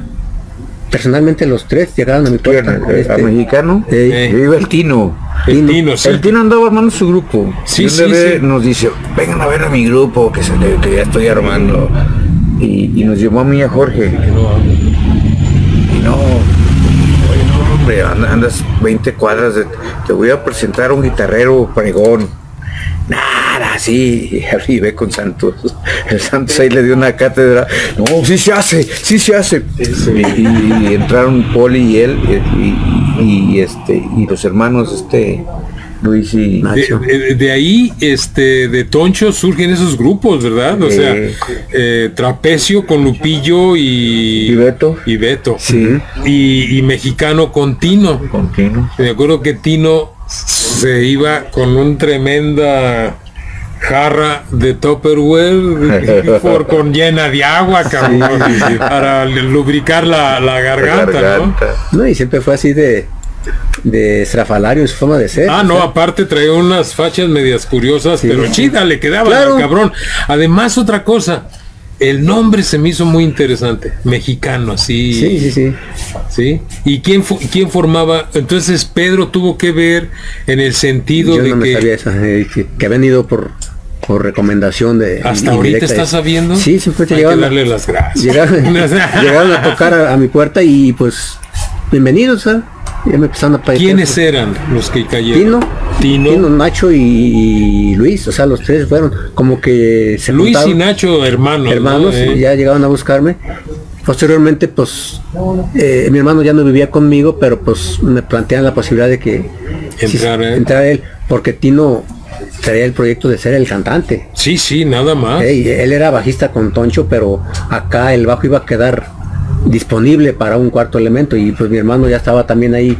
Eh, también llegamos a tener buenas mancuernas, mi hermano y yo, en, varios grupos también. En RIP estuvo, estuvo en mexicano, posteriormente estuvo en otros grupos con corte versátil también. Estuvo con la Sole. Estuvo con la Sole, también mi hermano. Mira, a propósito de mexicano, este, este, no sé si lo tienes, Santos. Ah, el cartel, sí, sí, sí, lo tengo. Este me lo envió este Manuel López, que van a estar la próxima semana con los hermanos con hablando de la banda Parantropus. Parantropus, ah, sí, es, la banda original de, También ellos, eh, hermanos, todos hermanos. Sin mencionarlo, eran parte de aquel grupo de, de, grupo de grupos de, entonces, aquella época, sí. Exactamente. Y, y, y ah, yo lo recuerdo a mexicano, también buenos, buenos. Y, y, la versión de Yunare de Judas Priest le salió de poca madre y en español. Sí, pues era era parte de los proyectos de Tino, en este caso. Traíamos esas, tenemos tres piezas, dos originales y ese cover también. ¿Cuáles eran las originales, eh, Santos? el final se llama una de ellas mm. y el tema homónimo, mexicano, así se llamaba otro tema también, que eran letras en español también de Tino. ¿Quién cantaba Tino? Y cantaba bien, ¿verdad? O sea, era el único cantante. porque se oía chido el corito. ¿Cómo? Unidos. Bueno, pues ahí le hacíamos al cuento a la hora de la hora, ¿no? Pero básicamente él el, el, vocalista. Pues como la mayoría de grupos en ese tiempo completábamos el repertorio con covers, porque no éramos un grupo que trajeras totalmente el pues. material original para llenar todo un evento, ¿no? Este, muchos grupos, aún hablando del Pocos Spiders, tocaban covers en su momento también para completar, ¿verdad? Entonces, pues tocábamos los temas originales y, metíamos mucho cover de, de hard rock sobre todo, era, el estilo. ¿Llegaron a ir a la Ciudad de México? Ese, ese cartel que nos muestra son es de la Ciudad de México ah, precisamente. Ese cartel es de del Salón Brasil me parece, eh, alternando con, con el Three Souls, exactamente. Porque fíjate algo también bien importante que cabe mencionar. Todo lo que tuviera que ver con Toncho tenía estatus. Definitivo, y más en México. Tenía estatus en México. Sobre todo. O sea, si un músico estuvo tres semanas con Toncho, le dio estatus. Sí, sí, sí. pues ahí está la prueba de que hay varias versiones de Toncho a raíz de, tanto elemento que ha, que ha circulado. Porque, consideramos dos etapas, ¿no? La de los LPs. pero dentro de esas pasaron 500 cabrón. Exactamente. Y todos, bueno, pues sí, sus datos. El, sábado pasado tuvimos a, un ex integrante también de Toncho, eh, Felipe Nájera que fue eh, baterista también de... No, mami, se llama como Federico. Federico Nájera. Federico Nájera. Federico Nájera. Que sustituyó al, al güero en un momento dado por un problema que tuvo por ahí. Y él era del DF, ¿tú lo ubicas, Pedro? No, eh, Federico. Aquí estuvo la semana... ¿Quién no era el, el barbón que sale en las fotos? No, que se llama Fernando. No, él, él, él estuvo, dices, él eh. estuvo con naftalina después, algo así, pero de esa gente de la capital. Es que, ¿sabes qué? nos, nos dio como referencia. Desgraciadamente, Toncho, este, ¿quién no tocó con Toncho? Tienes la Yo me jataba que era el único que no te había tocado con él y un día tuve que tocar, pero es un- fue, fue una vez por este alivianarlo en, en- en una Navidad que este le armamos un grupo al vapor para para que se alivianara y este y tuve que aprenderme las rolas de Tocho una semana. Sí, este sí. eh, estuvo el, el peluches, Pedro Jorge, yo y, y, y no me acuerdo Pedro que es muy Eh. ¿Ya no estaba Rigo? No, no, no, ya, ya, Ya cuando ya fallecido había fallecido, Ah, ok. ya fueron las últimas. eh. Fíjate que este jueves que me inviten, nos invitan a Casa Reforma, hay algo bien importante que mencionan ustedes y deben de estar de acuerdo conmigo. Toncho tuvo sus dos etapas muy marcadas, que también fueron las que les dieron una cúspide, una madurez, que fue primer LP y el segunda vez. Pero Toncho anduvo de capa caída mucho tiempo, Sí. ustedes lo saben como sí, músicos. claro. Y le hicieron mucho el paro, mucho. Sí, mucha gente lo trató de ayudar, pero no sé por qué no. nunca- Ya estaba algo marcado ahí, algo dentro, algo- como los una- grandes artistas. una mala. Pero sí también eh, hubo situaciones muy, muy adversas ahí. Se dio una situación curiosa cuando alternó mexicano con Toncho en el casino Agua Azul. Eh, Toncho pues evidentemente era el estelar, ¿no? El Sí, cerrado. claro. Pero previo a Toncho tocó mexicano. Ese día tocó inclusive Kenny y los eléctricos. O sea, fue como un mini festival, hubo varios grupos, toda una tarde. Y, y nosotros tocamos en penúltimo lugar, cierra Toncho, pero antes de empezar empezó tirando un rollo, hablando, hablando, y se sentía así como una cierta depre en su, en su, en su mensaje. Eh, o sea, este melancolía y todo aquello, Sí. y empezó a tocar. Y es que pues no dejaba de ser una cierta incomodidad el, el que estuviera tocando mexicano también ahí. Sí, por, por Tino. Exactamente, porque de alguna manera tuvieron que salir mm, no tan bien, de alguna manera, pues por alguna razón se salen del Sí. grupo y, y a lo mejor les recordaba ciertas filosofías que se pudieron haber dado, ¿no? Y era como, como la perita en el zapato, ¿no? Y sobre todo porque estuviera ahí levantándose mexicano, o sea, queriendo estar a la altura de, de los grandes también, ahí ¿verdad? ese, ese cuate ya nos está moviendo el tapete acá, ya se está moviendo por su lado, ¿no? Pero sí, este, tuvimos también la fortuna de, de alternar con ellos, como, como mexicano también. sí, sí. Y alterné con ellos también como Fongus, con Toncho, o sea, Ya, y como Rip, o sea, ahorita sigue eso, espérate, no te me todo- adelantes porque todo todavía fue el paquete ahí. No te me calientes granizo, Ya. entonces. Pero Pedro se convierte Fongus en un grupo de grabación. Viene un gran número de LPs, ¿es así? Sí, fíjate que firmamos un contrato por tres discos ahí con Cronos, Ah, ya. pero eh, sin pecar de arrogancia, eh, la compañía nos empezó a quedar chiquita. Porque pues ellos no nos promovían, nosotros lo hacíamos por nuestra cuenta y, y ya por fuera empezamos a ver que había más posibilidades y eh, de hecho ellos ya andaban ahora sí que tronando, ya tenían problemas financieros, Sí. ya no firmaban a nadie ni de ni de una cuestión ni de otro Estilo. Entonces, Estilo, estilo, entonces eh. ya, ya andaban ahí este entonces mm, despedimos nuestra carta de esos de ese contrato de tres discos nomás grabamos dos el blanco que traía la funda como el de Eh, Fogat con eh, las fotos adentro eh, y ensamblaba en los huequitos. Exactamente. Es donde vienen los huevos de la araña. Que decía Jorge, no es lo mismo los huevos de la araña que Que araña de los huevos. sí este creo que sí Sí, sí, es ese. ese fue el segundo Esa, hay ahí una canción que yo oía mucho, ¿te acuerdas que, que estás en mi cama o algo Ah, así? ot- otra metida que yo di, yo ferrado con español. Ah, era este, fue la letra, sí. Pero habla, habla, algo hablaba de la cama. Sí, sí, sí, sí, sí. ¿Cómo se llamaba la pieza? ¿Cómo se llama? ¿Te acuerdas? Esperado mucho tiempo, creo que Ah. se Sí. Esperado Oye, esa la oías mucho tiempo. ¿Te acuerdas? Muchísimo, Muchísimo, se me hacía muchísimo, muy chingona. canción. Sí, este, eh, el tercer disco ya no se grabó porque ya la compañía así ya de plano no, no, ya no podía. Eh, y este, pues hasta ahí llegó con Cronos, sí. Y empieza a hacer línea en el, en el, en el proceso de, pesado a, metal, ¿no? Sí, ya fue bueno, entró fuerte el heavy metal de los 80, el glam y todo eso, ya empezamos ahora sí a darle toda la vuelta. Y este fue cuando jalamos acá mi compadre yo siempre nomás andando buscando dónde que, que no se pararan los proyectos, ¿ves? Entonces con ciertos compañeros a lo mejor ya no coincidíamos, Paco ya estaba muy este clavado, digo no estaba clavado, tenía que terminar sus estudios, estaba estudiando arquitectura, ya no tenía tiempo. Fuimos por Santos, estuvo un rato con nosotros y ahí se dio que grabamos Pero el disco. sí, sí, eso hay que hablarlo porque también fue eh. muy importante ese disco dentro de la historia de dice Pedro de la Escuela de, Arquitectura. Freddy Magallanes de nuevo comenta, a Pedro lo conocí tocando la batería con Fongus. Muy buen baterista. Aparte de encender su batería, también incendiaba el auditorio. Creo que Pedro estudiaba arquitectura.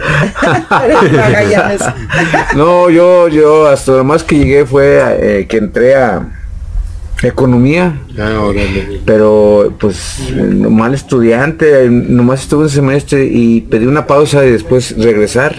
y todo, no todo soy a ver si regreso. Ah, sigue pausa. pausa. Eh, yo creo que te han esperando. Sí, sí, sí. El otro día una sí, no, ¿Te acuerdas que en aquel tiempo podías pedir un podías pedir un, un receso? Pero si yo lo pedí, dije, no, para descansar, porque desde, desde kinder, primaria, secundaria y todo eso. Y, y, la música, fíjate que la música es bien celosa. Si no le metes el 100 no te da. Y ese es el mal que yo veo, no el mal, es el, el, tope que yo veo con la mayoría de los músicos que dicen, no, la música te vas a morir de hambre. Pues es que depende, está, mal, ¿cómo te diré? Está mal enfocado el, el, decir, el músico siempre es para, nomás para hobby. ¿Sí me explico? O muchos dicen, no, estudia una carrera porque si no te, si no en la música te va, igual en el fútbol y eso, a mí, a mí me llegaban a decir eso es. Pero yo me di cuenta que la música es bien celosa, o le metes el 100, o si no, no te da. Entonces, este, pues sí, hasta ahí, hasta ahí con los discos de Focus, el, segundo, el tercero, no sé. Eh, ahorita hablamos de ese porque precisamente se integra otro miembro de Fungus, que como estamos diciendo. ¿Cuánto dura Mexicano? Eh, poco menos de un año, Poco, dura poco. Eh, poco menos de un año precisamente eh, la tocada esa fue la última tocada que tuvimos oh, allá en México, sí. ¿Y Tino se regresa a Estados Unidos? Mm, no, se queda un tiempo. Mm. Se va a su, a su tierra, a Celaya, allá ah, a Salvatierra, ah, Salvatierra, se va a Salvatierra. Se va un tiempo para allá. Eh, de hecho, nos deja su equipo con calidad de empeñado, mm. porque hubo problemas financieros por ahí que fueron parte del, de la ruptura y todo aquello por problemas económicos y nos deja su equipo, un buen equipo que traía el que traía con Toncho. como ensayábamos en mi casa, en mis padres, ahí se concentraba el equipo y ahí estuvo resguardado cerca de un año inclusive. Ya después vino por él y pues parece que ya lo, tenía proyectos de vender y todo aquello, ¿no? Se me hace que se lo vendió precisamente a, Coria, se me hace. Ah, porque él inclusive o, al, peluches, porque eh, los bafles grandes los hicieron dobles, o sea, los partieron, hicieron dos, dos, convitos más patiquitos ahí. Mm. Pero sí, ese fue el, el, fin de mexicano. Y en ese lapso entre mexicano y Fongus, fue como un año que, que, estuve en, en, el lapso. ¿Cómo llegas a Fongus? Eh, hubo esos lapsos todavía tocando música versátil, volviendo otra vez a la versión que teníamos de RIP, como RIP otra vez, con el fit y otra vez. Sí. Eh, duramos cerca de un año otra vez tocando y fue cuando ya apareció otra vez la, el proyecto de Fongus, en el cual eh, Jorge y Pedro me invitan al, proyecto. ¿Se sale Paco? Sí, salió Paco porque te digo, él ya estaba más enfocado en terminar su carrera y nos quedamos, primero se salió Beto, nos quedamos en trío. Y luego después este, Beto era la otra guitarra. La otra guitarra después metimos a, digo, nos quedamos este como tíos, después se sale Paco y luego ahí, va el, Pedro por el, compadre, se lo que conocía. vamos por el compadre. Y que estaba desocupado también, eh, afortunadamente. Pues. ya, le lavamos el coco, a que te va a hacer famoso y bla bla bla. La que es lo que se usa, tú sabes cuando lo quieres. vamos a grabar, eh, vamos a grabar, vamos, tenemos planes internacionales. Entonces, este, ya se une con nosotros y, duramos un tiempo con, como trío también, porque después este Paco regresa y se vuelve a convertir en, cuarteto, que fue cuando... Pero vamos a hablar de, de metal. Sí, o sea... Es, eh, ¿quién, forma, ¿Quién estaba formando metal en ese... O sea, Fongus para la grabación del disco de metal? Era 50% Fongus y 50% Ricky. Por eso era Pedro. Pedro y yo, Jorge y Paco, el arquitecto. Ah, órale. Y antes de que entrara Santos, habíamos probado, antes de que saliera Paco, probamos con Beto Nájera. Ah, Invitamos a, Beto Nájera, que en ese tiempo también ya había salido, había terminado Trapecio. Eh, Duró poco. Y el Beto pues también ha sido rock and rollero y oígame, qué onda. Y ya no lo trajimos a Fongus, pero este no, no, no se dio y fue cuando se salió eh, se salió Beto y luego salió Paco y luego ya entró este Santos. y luego regresó Paco y fue cuando vino la oportunidad con Carlos Ramírez de, grabar ese disco. Esa historia me la sé muy bien porque en ese tiempo colaboraba en Radio Universidad de Guadalajara. Sí, sí, sí, y, me acuerdo que Carlos Ramírez fue el productor y grabó, ¿no? Algo así, metió la mano en la grabación. Y aparte, eh, la mención del concepto ya en metal fue más directo y más objetivo. Metal, Fongus, metal. La portada, la contraportada, lo de las ametralladoras, las armas, todo ese rollo, la marcha de soldados gringos de caballería. tuvo que ver Carlos Ramírez, ¿no? Sí, claro, todo, ese fue, todo ese de la portada y todo eso fue idea de, Inclusive eh, la idea de grabar en inglés también fue idea de Carlos. Sí, de hecho, fíjate, yo había convencido a Jorge de que no, Master, ya el siguiente disco tiene que ser en español porque nos viene pisando Rata Blanca y, varios grupos, ya tenemos que entrar. y, ya no hablemos de internacionales, aquí en México, Luzbel, este, Rostros Ocultos, todos esos grupos que empezaban a sobresalir a nivel nacional eran en español. Y ya está, ya cuando empezamos, ya tenemos hasta las letras. Y cuando empezamos a... Eh, Carlos siempre fue muy fanático, le gustó mucho el grupo. Yo no sé, el, el siempre nos apoyó. cuando íbamos a grabar la voz, me acuerdo que dijo, no, no, no, no, este grupo no es para México nomás, es internacional. Vamos a grabar en inglés porque lo vamos a lanzar a nivel internacional. Europa y todo que eh, llevar los discos para allá. creyeron? Pues, totalmente. Pero vamos en, en inglés. haber sido posible, ¿no? Sí, sí, y, y, pues pues sí, nada más que todavía no había la fuerza para lanzarlo a nivel internacional y se topó con esa pared de que todos los grupos que estaban pegando en español, como, como en inglés, entonces auxilio. Y aunque hicimos después con el tiempo versiones en español de esas canciones, ya no entraron en el disco, ya, ya no fueron eh. y, es cierto que el Che Bañuelo es el que está eh, arriba del tanque, sí, es cierto. y el, el, ¿cómo se llaman? Los bifocantes. Eran dos botellas de refresco. Te digo que supe bien porque pues estábamos en la colaboración de Radio Universidad de Guadalajara y te enterabas de todo por Carlos Ramírez. Sí, Carlos era muy inteligente. Sí, lo es. un saludo a Carlos Ramírez Hace rato que no lo veo, pero este no fue una persona que nos ayudó mucho en el aspecto de que nosotros cuando nos salimos de Cronos nuestra mira era meternos a una compañía de México de las que en ese tiempo estaban este eh, rescatando grupos no Ariola y que mm, Culebra y no sé qué entonces cuando eh, sí sí entonces cuando me dijo Carlos, no, no, no, no se meten a venga, yo pongo todo, ah no, pues chido, que aquí era que me llega, porque ya sabes que yo soy un acompañado. Sí. Ok, tengo esta idea, pero no va a ser así, le tienen que cambiar acá y tienen que meter acá y no sé, no sé. Como productor. Sí, sí. Y no, él, él, él, este, nos dio la libertad y junto con Derek Powell, que tenía un estudio de grabación en su casa, en aquel tiempo era muy, muy raro que alguien tuviera un estudio, un home studio ahí grabamos y tuvimos la libertad de hacer y deshacer y, ahí grabamos el disco. Y muy bien grabado. A mí me gusta mucho eh, la las guitarras que como las tocó en una pieza muy muy instrumental, instrumental muy chida, es tuya, ¿verdad? Así es, ahí ¿Cómo se llama esa pieza? Alma, ahí apareció la pieza de Alma, como un proyecto personal también que... Muy bueno, ¿verdad, Pedro? Sí, sí, lo que pasa es de que, este, fíjate que antes, como en el 19, empezamos a tramar a hacer una recuperación de todo eso, o sea, del, del Guadalajara Rock, mm. el Blanco, y de ese de eso eh, lo mejorcito lo que más sonó hacer unas versiones nuevas y nos empezamos a hacerlas. Eh, este empezamos Santos y yo y íbamos a mandarles las versiones a Jorge para que las terminara pero desgraciadamente vino se vino lo de la pandemia y ya no nos dejó hacer nada y quedaron a ahí. se quedó ahí había una pieza muy padre que empezaba con la, y la voz muy buena de Jorge Fugitivo. Sí, creo que esa era. el puro bajo. Sí, era, fue muy buen disco, muy buen disco. Sí.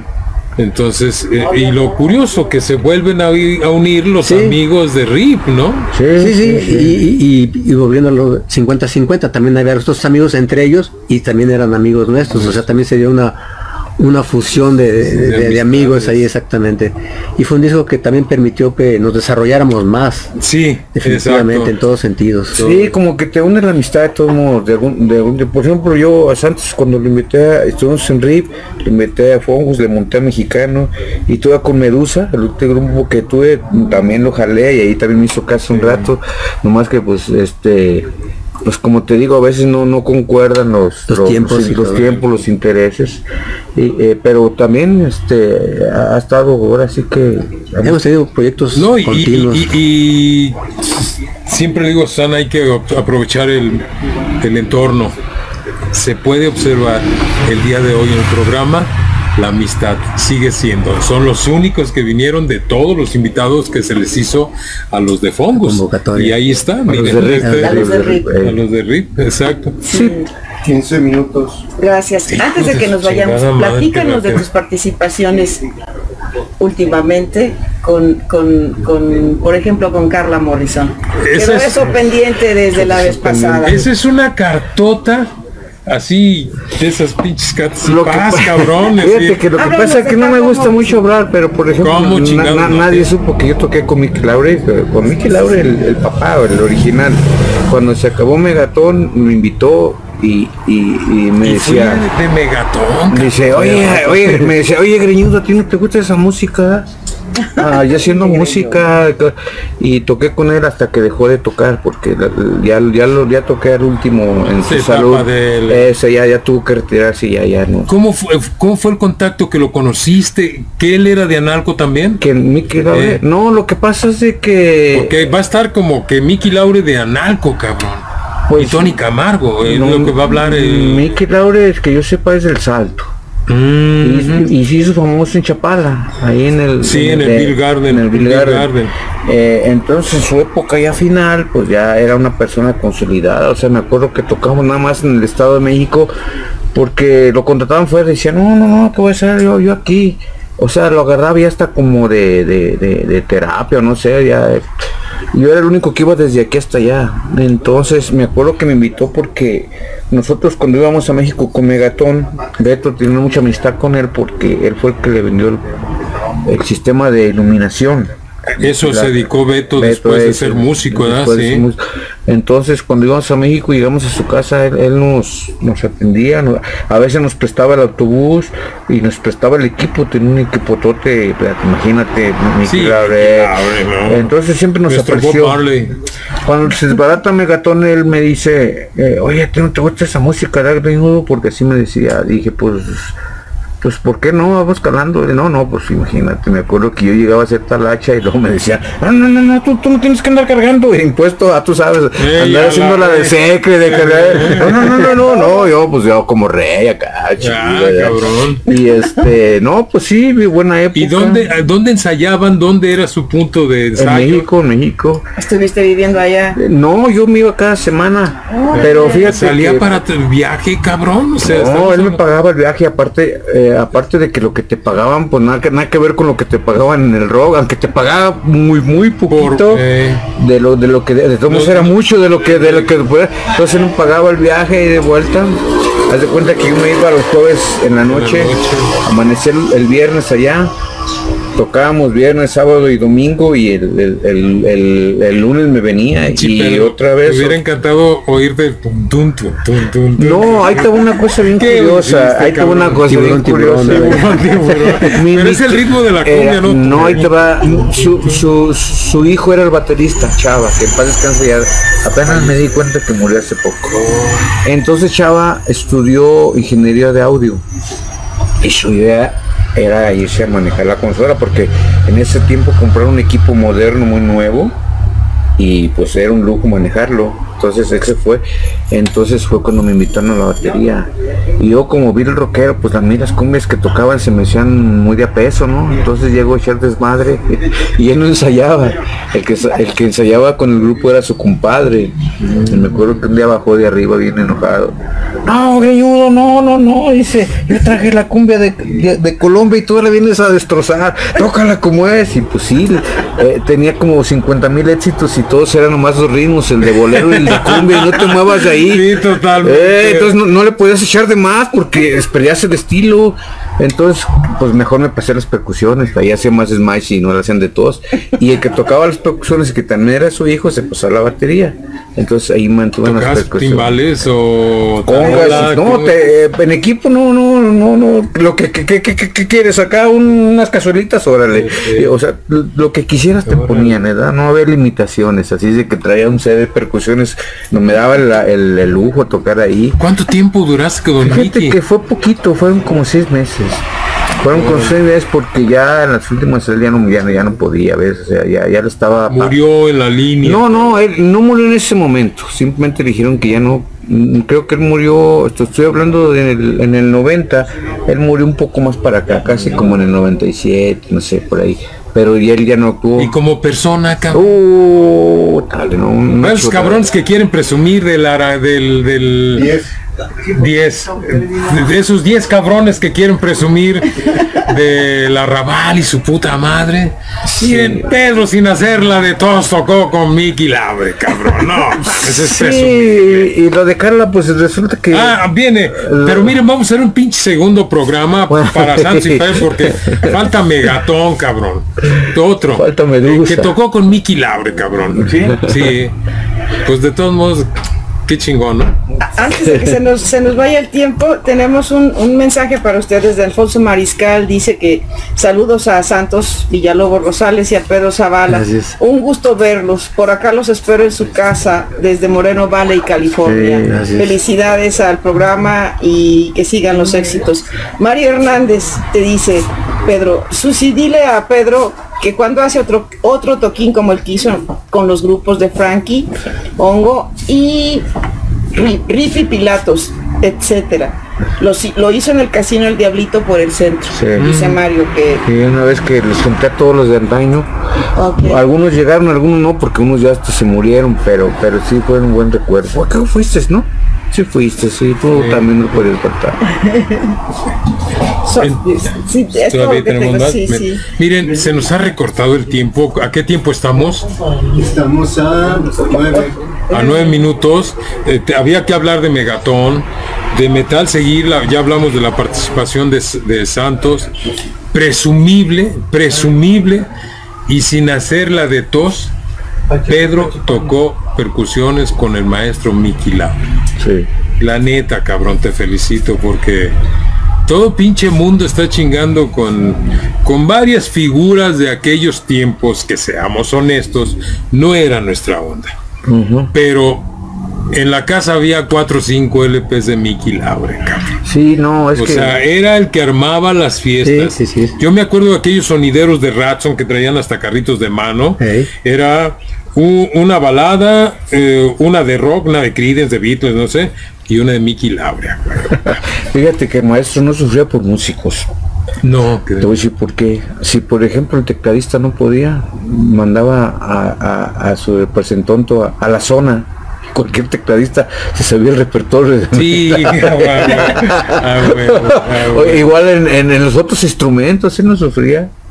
Entonces, este, más bien los que estaban en no se querían salir porque pues un trato muy es el maestro buenos recuerdos otro mensaje de, de Jorge López dice ese proyecto del que habla Pedro ya se cocinó esperen pronto el álbum de aniversario de Fongus. Ah, pues, Va a ser una gran sorpresa. Él, lo estaba terminando, pero ya no supe en qué quedó. Saca un LP, cabrón, por la nostalgia de los pinches viejos. Antes de que nos moramos. Sí. porque tiene las posibilidades allá en USA, ¿no? Está bien contactado. Y Fongus siguió allá, ¿no? Con él. Sí, ahorita. El ahorita, otro, el guitarrista que, que Alonso. Alonso y pues de hecho, ¿no? fue, como esto después platicamos por fue otra etapa que hicimos en Estados Unidos. Sí, también. Eh, cuando nos fuimos para allá. Eh, y ahorita Jorge se abrió mucho ya para para Nashville, que está más retirado, mm. pero pues la, sangre musical y rock and rollera no, no creo que se le acabe hasta que se muera, como yo visnando. Sí, sí siempre, no, está, siempre está haciendo cosas. Eh. Sí, sí, sí, y muy interesante esta parte de la historia del rock en Guadalajara. Y, y, te digo, esos chavitos, por eso dije una vez en un programa, los sueños locos de los jóvenes de aquella época que se hicieron realidad. Sí. Exactamente, así la colección de historias que se está llevando aquí, de verdad es interesantísimo.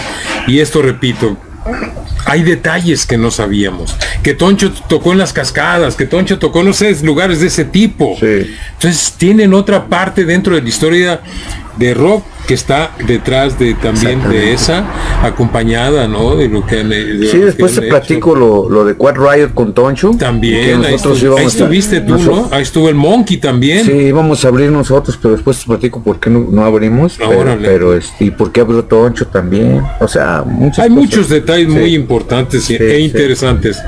A qué tiempo estamos estamos a cinco minutos ya deben.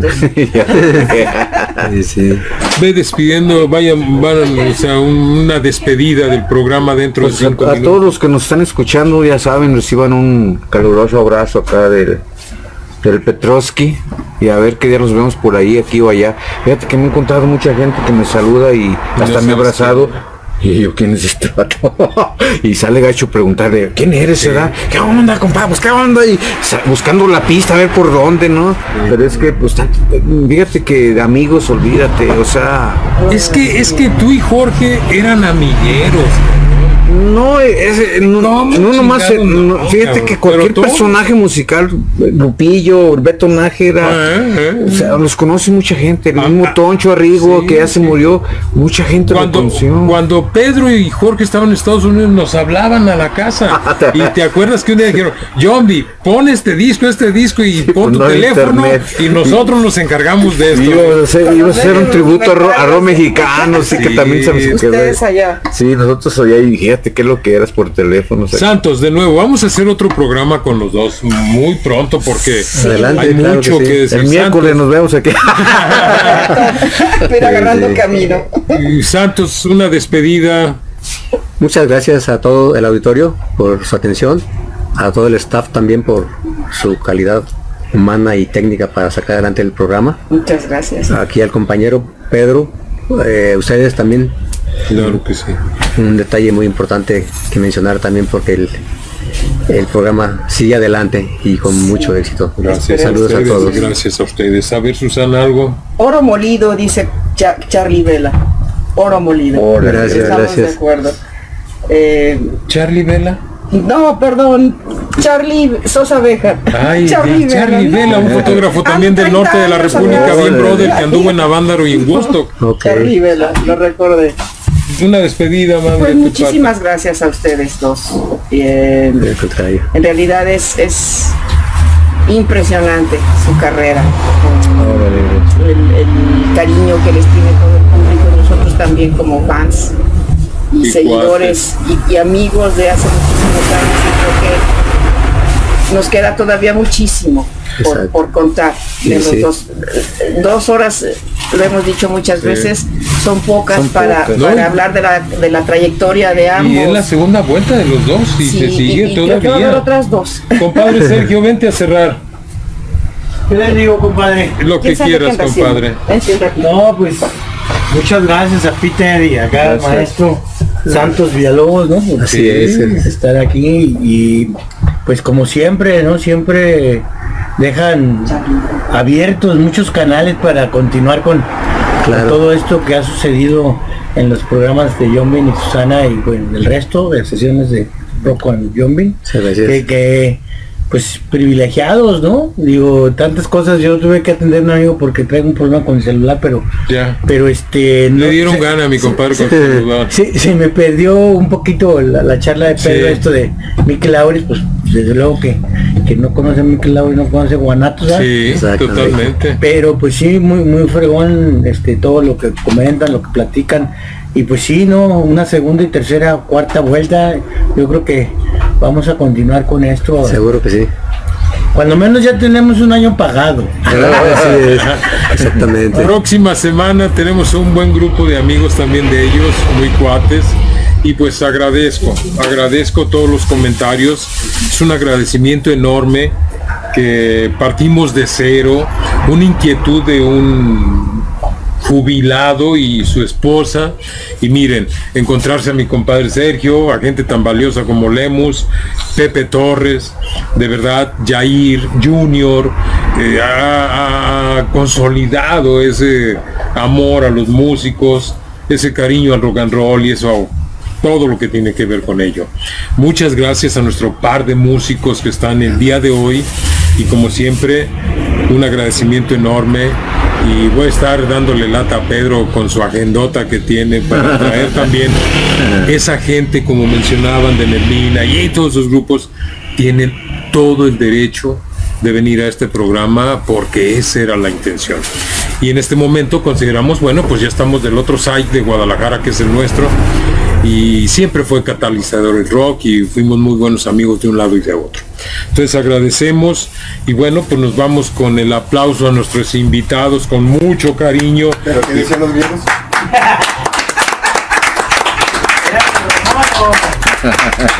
Gracias, gracias.